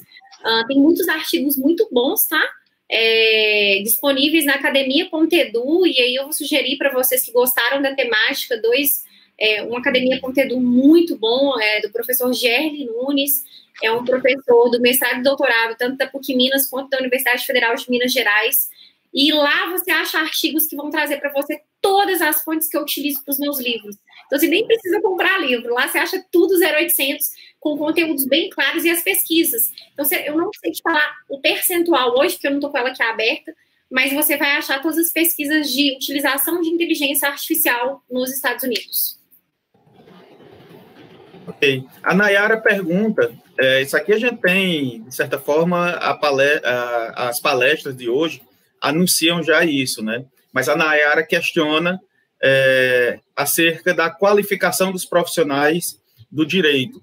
Aqueles que são formados hoje em situações longe da tecnologia, será necessário uma reeducação tecnológica? Nayara, com certeza. A gente não precisa nem pensar no âmbito da inteligência artificial, a gente pode pensar no âmbito de automações. Por exemplo, ah, uma, eu estive em algumas comarcas esses dias no interior, visitando alguns advogados, uh, e é bem distoante a nossa realidade é, de Belo Horizonte para o interior aqui de Minas, tá? Comarcas que às vezes nem delegado possuem, e aí você vê algumas precariedades relacionadas à, à função jurisdicional. E o que, que tem acontecido, só para você ter uma noção? Aposentadorias mais precoces de vários advogados da cidade, advogados antigos, que não conseguem se adaptar aos sistemas eletrônicos de peticionamento, que são meras automações, nem estou falando de inteligência artificial. Então, assim, a OAB tem fornecido diversos cursos no interior para os advogados conseguirem se, se adaptar, porque, assim, para ter uma noção, são, você tem que lidar com cinco, seis sistemas e realmente exige uma técnica. Então, o que, que você começa a perceber? É, não tem como você não aderir às novas tecnologias. Você pode falar, ah, sou contrária a isso, sou a favor, e aí realmente eu tenho, vocês viram que eu trouxe na minha, na minha palestra uh, o lado muito positivo da inteligência artificial e um lado bem negativo. A gente tem que saber lidar melhor com isso, criar balizamentos, como é que a gente vai fazer um controle disso na nossa área, mas de fato, uh, o profissional que tiver no mercado uh, avesso às novas tecnologias é um profissional que vai sofrer um pouco aí no mercado, que é um mercado que já é exigente, né? Exige cada vez mais que o profissional seja diferenciado, é, faça um bom curso, é, faça algumas matérias interdisciplinares, realmente vá se capacitando ao longo da vida, né? Eu costumo dizer nós escolhemos um curso que a gente vai estudando o resto da nossa vida. A gente vai, mudou uma legislação, a gente vai ler aquela legislação, mudou uma jurisprudência, a gente vai nos adequar àquela jurisprudência para ver como é que nós vamos trabalhar nos nossos casos futuros. E com a tecnologia não é diferente. Né? A gente precisa, gostando ou não dela, começar a adaptar e a entender melhor como que a gente pode trazer isso para o nosso trabalho. Alguns casos não é nem mais opção. Né? Implementou o processo eletrônico, como implementou numa comarca aqui do interior próximo, que a cidade não estava preparada, foi um caos. E aí aquele advogado que conseguiu né, estar melhor adaptado foi o que mais tranquilamente conseguiu adaptar essa situação. Uh, só para você ter uma noção, Hoje, aqui, todas as nossas audiências são online. Todas. Você tem que saber, né? Como mexer num sistema desse para não ter problema. Imagina perder a audiência. Não pode. Ou seja, exige de você uma capacitação. É, ok. O Lucas Albuquerque ele coloca da seguinte forma: como a OAB vê, vê implementações como o ROS no Brasil? Existe regulamentação? O que pode ser feito para que ferramentas como essa permaneçam em concordância com a ordem? Ô, Lucas, eu queria te dar uma boa notícia, mas não vou te dar, não, porque uma coisa que meus alunos sabem que eu sou extremamente sincera. A OAB está paralisada. E eu sou da OAB, tá? Então, assim, eu estou dentro da OAB, faço parte da Comissão de Direito Processual Civil da OAB de Minas. E uh, também é, sou presidente da Subcomissão de Inteligência Artificial e te falo uma coisa, a OAB ainda não entendeu os impactos e o quanto que ela vai ter que interferir nisso para trazer uma perspectiva melhor para o profissional. Primeiro, a OAB jovem, ela já tem que começar a tratar muito desse assunto, porque a mão de obra que tem sido substituída dentro desses padrões né, de demandas repetitivas, massificadas, é o advogado júnior. Então, é um advogado que ele insere no mercado com uma certa dificuldade. Estou passando um panorama aqui da minha região, tá? Ele, então, tem que se vulnerar a um trabalho como associado, que já é uma grande precarização, sabemos disso. E aí, ele corre muito risco dessa vulnerabilidade a uma substituição. Então, é trabalhar melhor esse profissional para essa inserção no mercado, uma inserção mais qualitativa, que ele vá para um lugar que ele esteja fazendo mais questões intelectualizadas e não meramente repetitivas, e isso vai primar para que ele conserve o trabalho dele, vai evoluindo na carreira, porque a gente sabe que não é uma carreira meteórica. Todo mundo começou aos poucos e foi evoluindo ao longo dos anos, né? Não é uma carreira meteórica que como a gente vê nos, nos, nossos Instagrams, né? Que você inicia a advocacia em um ano você está milionário. Não, é aos poucos que você vai evoluindo na sua carreira, tanto intelectualmente, da sua produção de peças, mas de fato nosso OAB está um pouco inerte. Fizemos congressos, eu fiz congresso na OAB aqui de Minas, estamos dialogando, mas talvez eles ainda não entenderam realmente que nós já estamos sofrendo alguns impactos e a OAB vai ter que tomar algumas iniciativas sobre isso. A, a Tamires, ela coloca da seguinte forma, eu acho que até a professora já respondeu durante a palestra. É, e os robôs brasileiros? O POT, Elis, Vitor, Radar e Sinapses, como são utilizados? Eu acho que já, teve, a senhora já contribuiu, mas quiser esclarecer mais um pouco. É, uh, depois a gente combina de eu mandar. Eu tenho um material aqui bem legal explicando cada um dos robôs para que quem tem interesse fazer uma leitura, né? Eu mando aqui para vocês no WhatsApp, vocês disponibilizam para os alunos. Uh, cada robô vai ter uma função. Então, os que atuam nas cortes superiores, STJ e STF, eles estão mais atuando atualmente no âmbito das admissibilidades recursais. Né? A gente sabe que essa admissibilidade, inicialmente, do recurso especial extraordinário, é feita no âmbito dos tribunais de justiça. Mas, ainda assim, os recursos que passam por essa admissibilidade ACO passam por uma admissibilidade no âmbito do STF e do STJ. E aí, você tem selecionado, por exemplo, esse, é, casos de repercussão geral, tem adiantado, por exemplo, a primeira apreciação meritória do recurso especial no âmbito do STJ. A grande questão é que muitos já estão evoluídos. Por exemplo, uh, no âmbito do Pernambuco, a robô Elis, ela já consegue, ela está atuando no âmbito das execuções fiscais e ela já consegue averiguar para você um caso de prescrição. A robô Elis, ela chega e fala que esse caso está prescrito. Esse caso tem problema na dívida ativa, né, no, no, no, título da, da execução. Uh, esse caso aqui tá, é, uh, foi distribuído no, no fórum incompetente. Ela consegue localizar até problemas de competência. Então, você me fala, um software desse é mera automação? Jamais. Se ele fosse mera automação, ele jamais conseguiria identificar o que uma prescrição num caso complexo desse. É um, é um software que trabalha com algoritmos, com redes neurais, algoritmos não supervisionados. Então, é, cada tribunal tem, principalmente os tribunais de justiça, tem desenvolvido melhor o seu, a sua inteligência artificial. Existem algumas interlocuções, né? A gente está vendo alguns darem muito certo, Sinapse e outros, Poti, mas a, a grande verdade é que a nossa maior dificuldade para quem pesquisa essa área é ter acesso a maiores informações. Essas que eu estou passando para vocês, vocês acham disponível no Google, quando vocês fazem uma pesquisa mais apurada. Agora, por exemplo, como que está o radar aqui em Minas Gerais? há um ano e meio ele estava jogando mil processos em um clique. Ah, eu quero saber. A inteligência artificial ela vai evoluindo, por isso que é inteligência artificial. Será que ele já não está proferindo decisões meritórias? Claramente assinadas pelo juiz? Eu tenho minha desconfiança com os desembargadores. Então, assim, o que falta claramente aqui na nossa área, no uso da inteligência artificial, é uma certa publicidade e transparência. E a nossa resolução 332, infelizmente, até o presente momento, podemos até mudar, não está trazendo essa transparência que nós, advogados, tanto desejamos. Ok. É, o Daniel Miranda coloca o seguinte: a partir dessa nova realidade, desta nova realidade, muito pode ser debatido sobre qual o papel do advogado do futuro. Sim. Uh, para vocês terem uma noção, é, ô, Cristiano, eu vou pedir para você me lembrar de enviar para vocês esse material que eu explico os robôs, para os meninos que tiverem mais curiosidade sobre a temática terem acesso, e também uma cartilha que eu tenho de um grande amigo meu, Marcelo Guedes, que traz as novas 20 profissões do futuro. Ah, que não são do futuro, na verdade, são já implementadas. 20 profissões jurídicas tecnológicas, que muitos, eu aposto com vocês, que muitas, umas 18 vocês nunca ouviram falar. Por exemplo, tem uma profissão jurídica tecnológica que surgiu agora, que é o Regis de Inovação nos escritórios de advocacia. Ele precisa ter uma formação jurídica, porque como é que você entende de um procedimento processual, é, de uma produção de peças, de uma organização de setores, se você não é formado na área jurídica? Não tem como. E, ao mesmo tempo, ele tem que ter uma formação tecnológica, ele tem que estar acompanhando os principais softwares que têm sido inventados e colocados no mercado, ele tem até que automação, né? Não precisa nem ser inteligência artificial, de forma que ele consiga ir parametrizando o escritório reduzindo gastos e gerando realmente maior produtividade. Esse cara chama Regi Inovação, está uh, bem cotado no mercado aqui na minha região. Passou uma moto aqui, quase me levou da palestra. Está é, tá bem cotado na minha região, para vocês terem uma noção, aqui tem ganhado uns 12, 15 mil reais um profissional desse.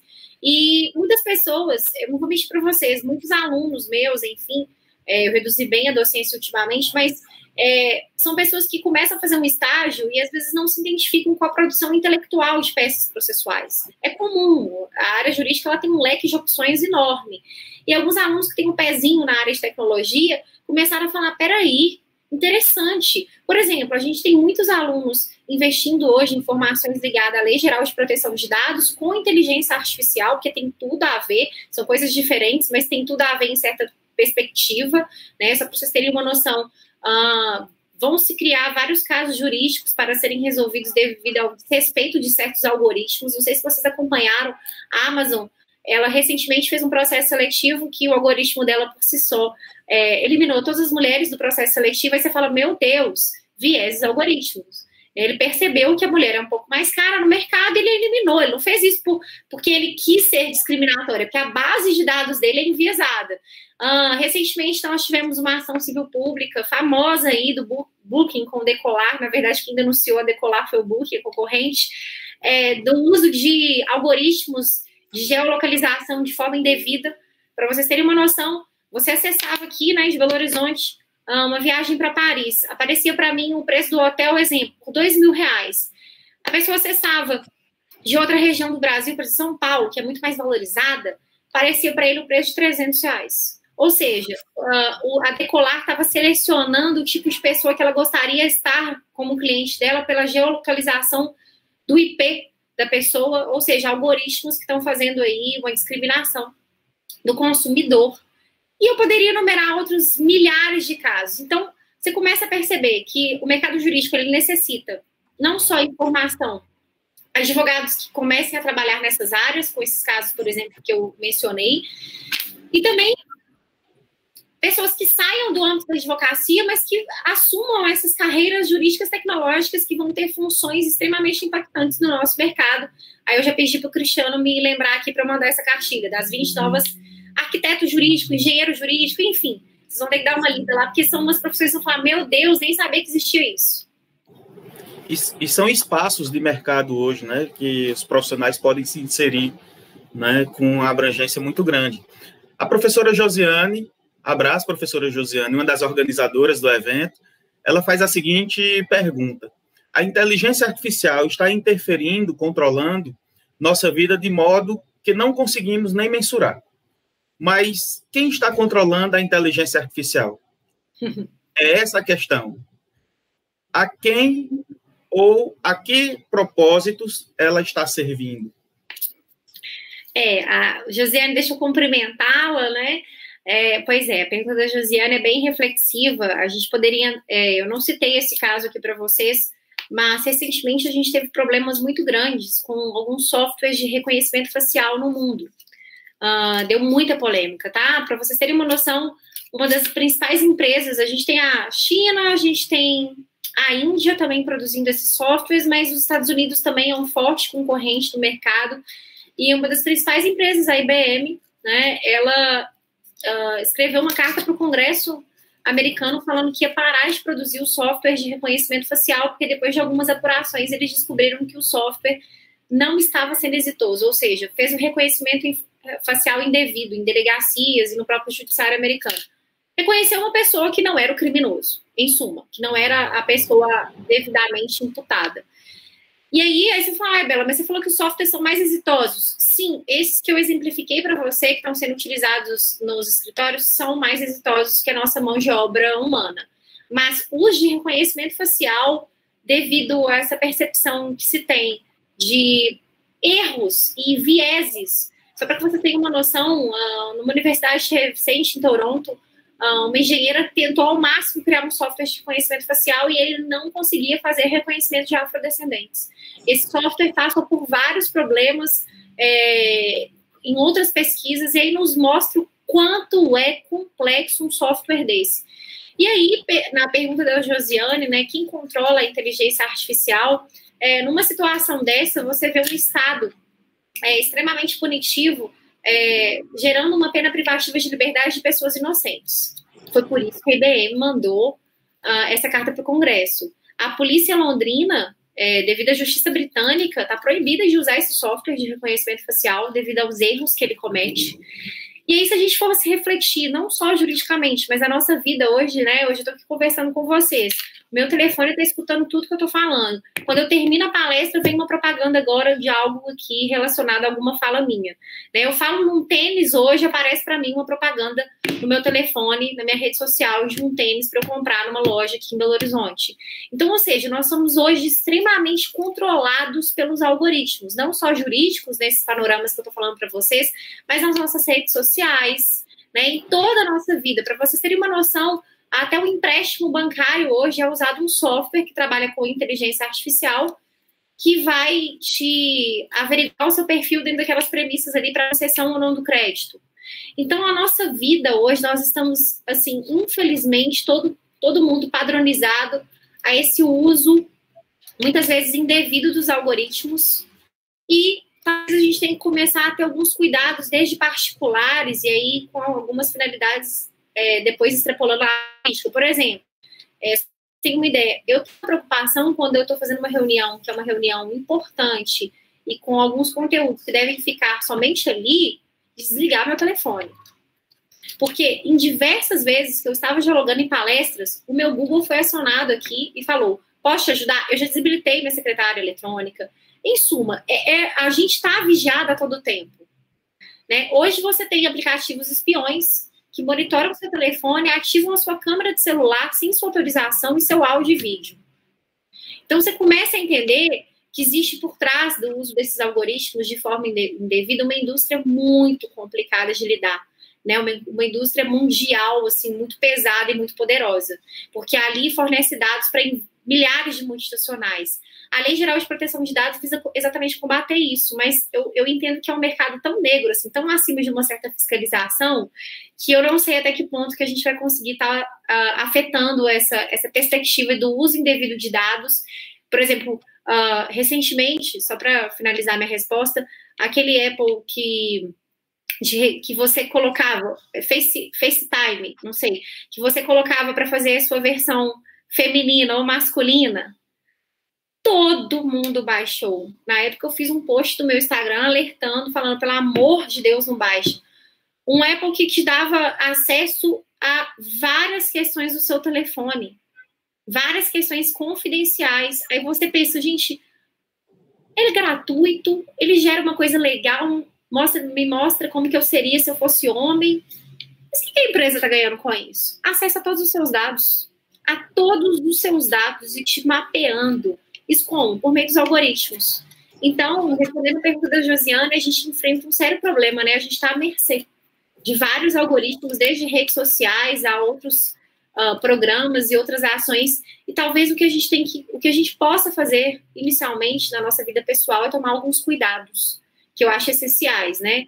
Uh, eu falo assim, tem aluno meu, fala, ah, professora, numa aula minha de graduação, ah, o meu momento de mexer no celular é quando eu tô tomando banho. Eu falo, meu filho, pelo amor de Deus. É o único momento que você não deve mexer no seu telefone.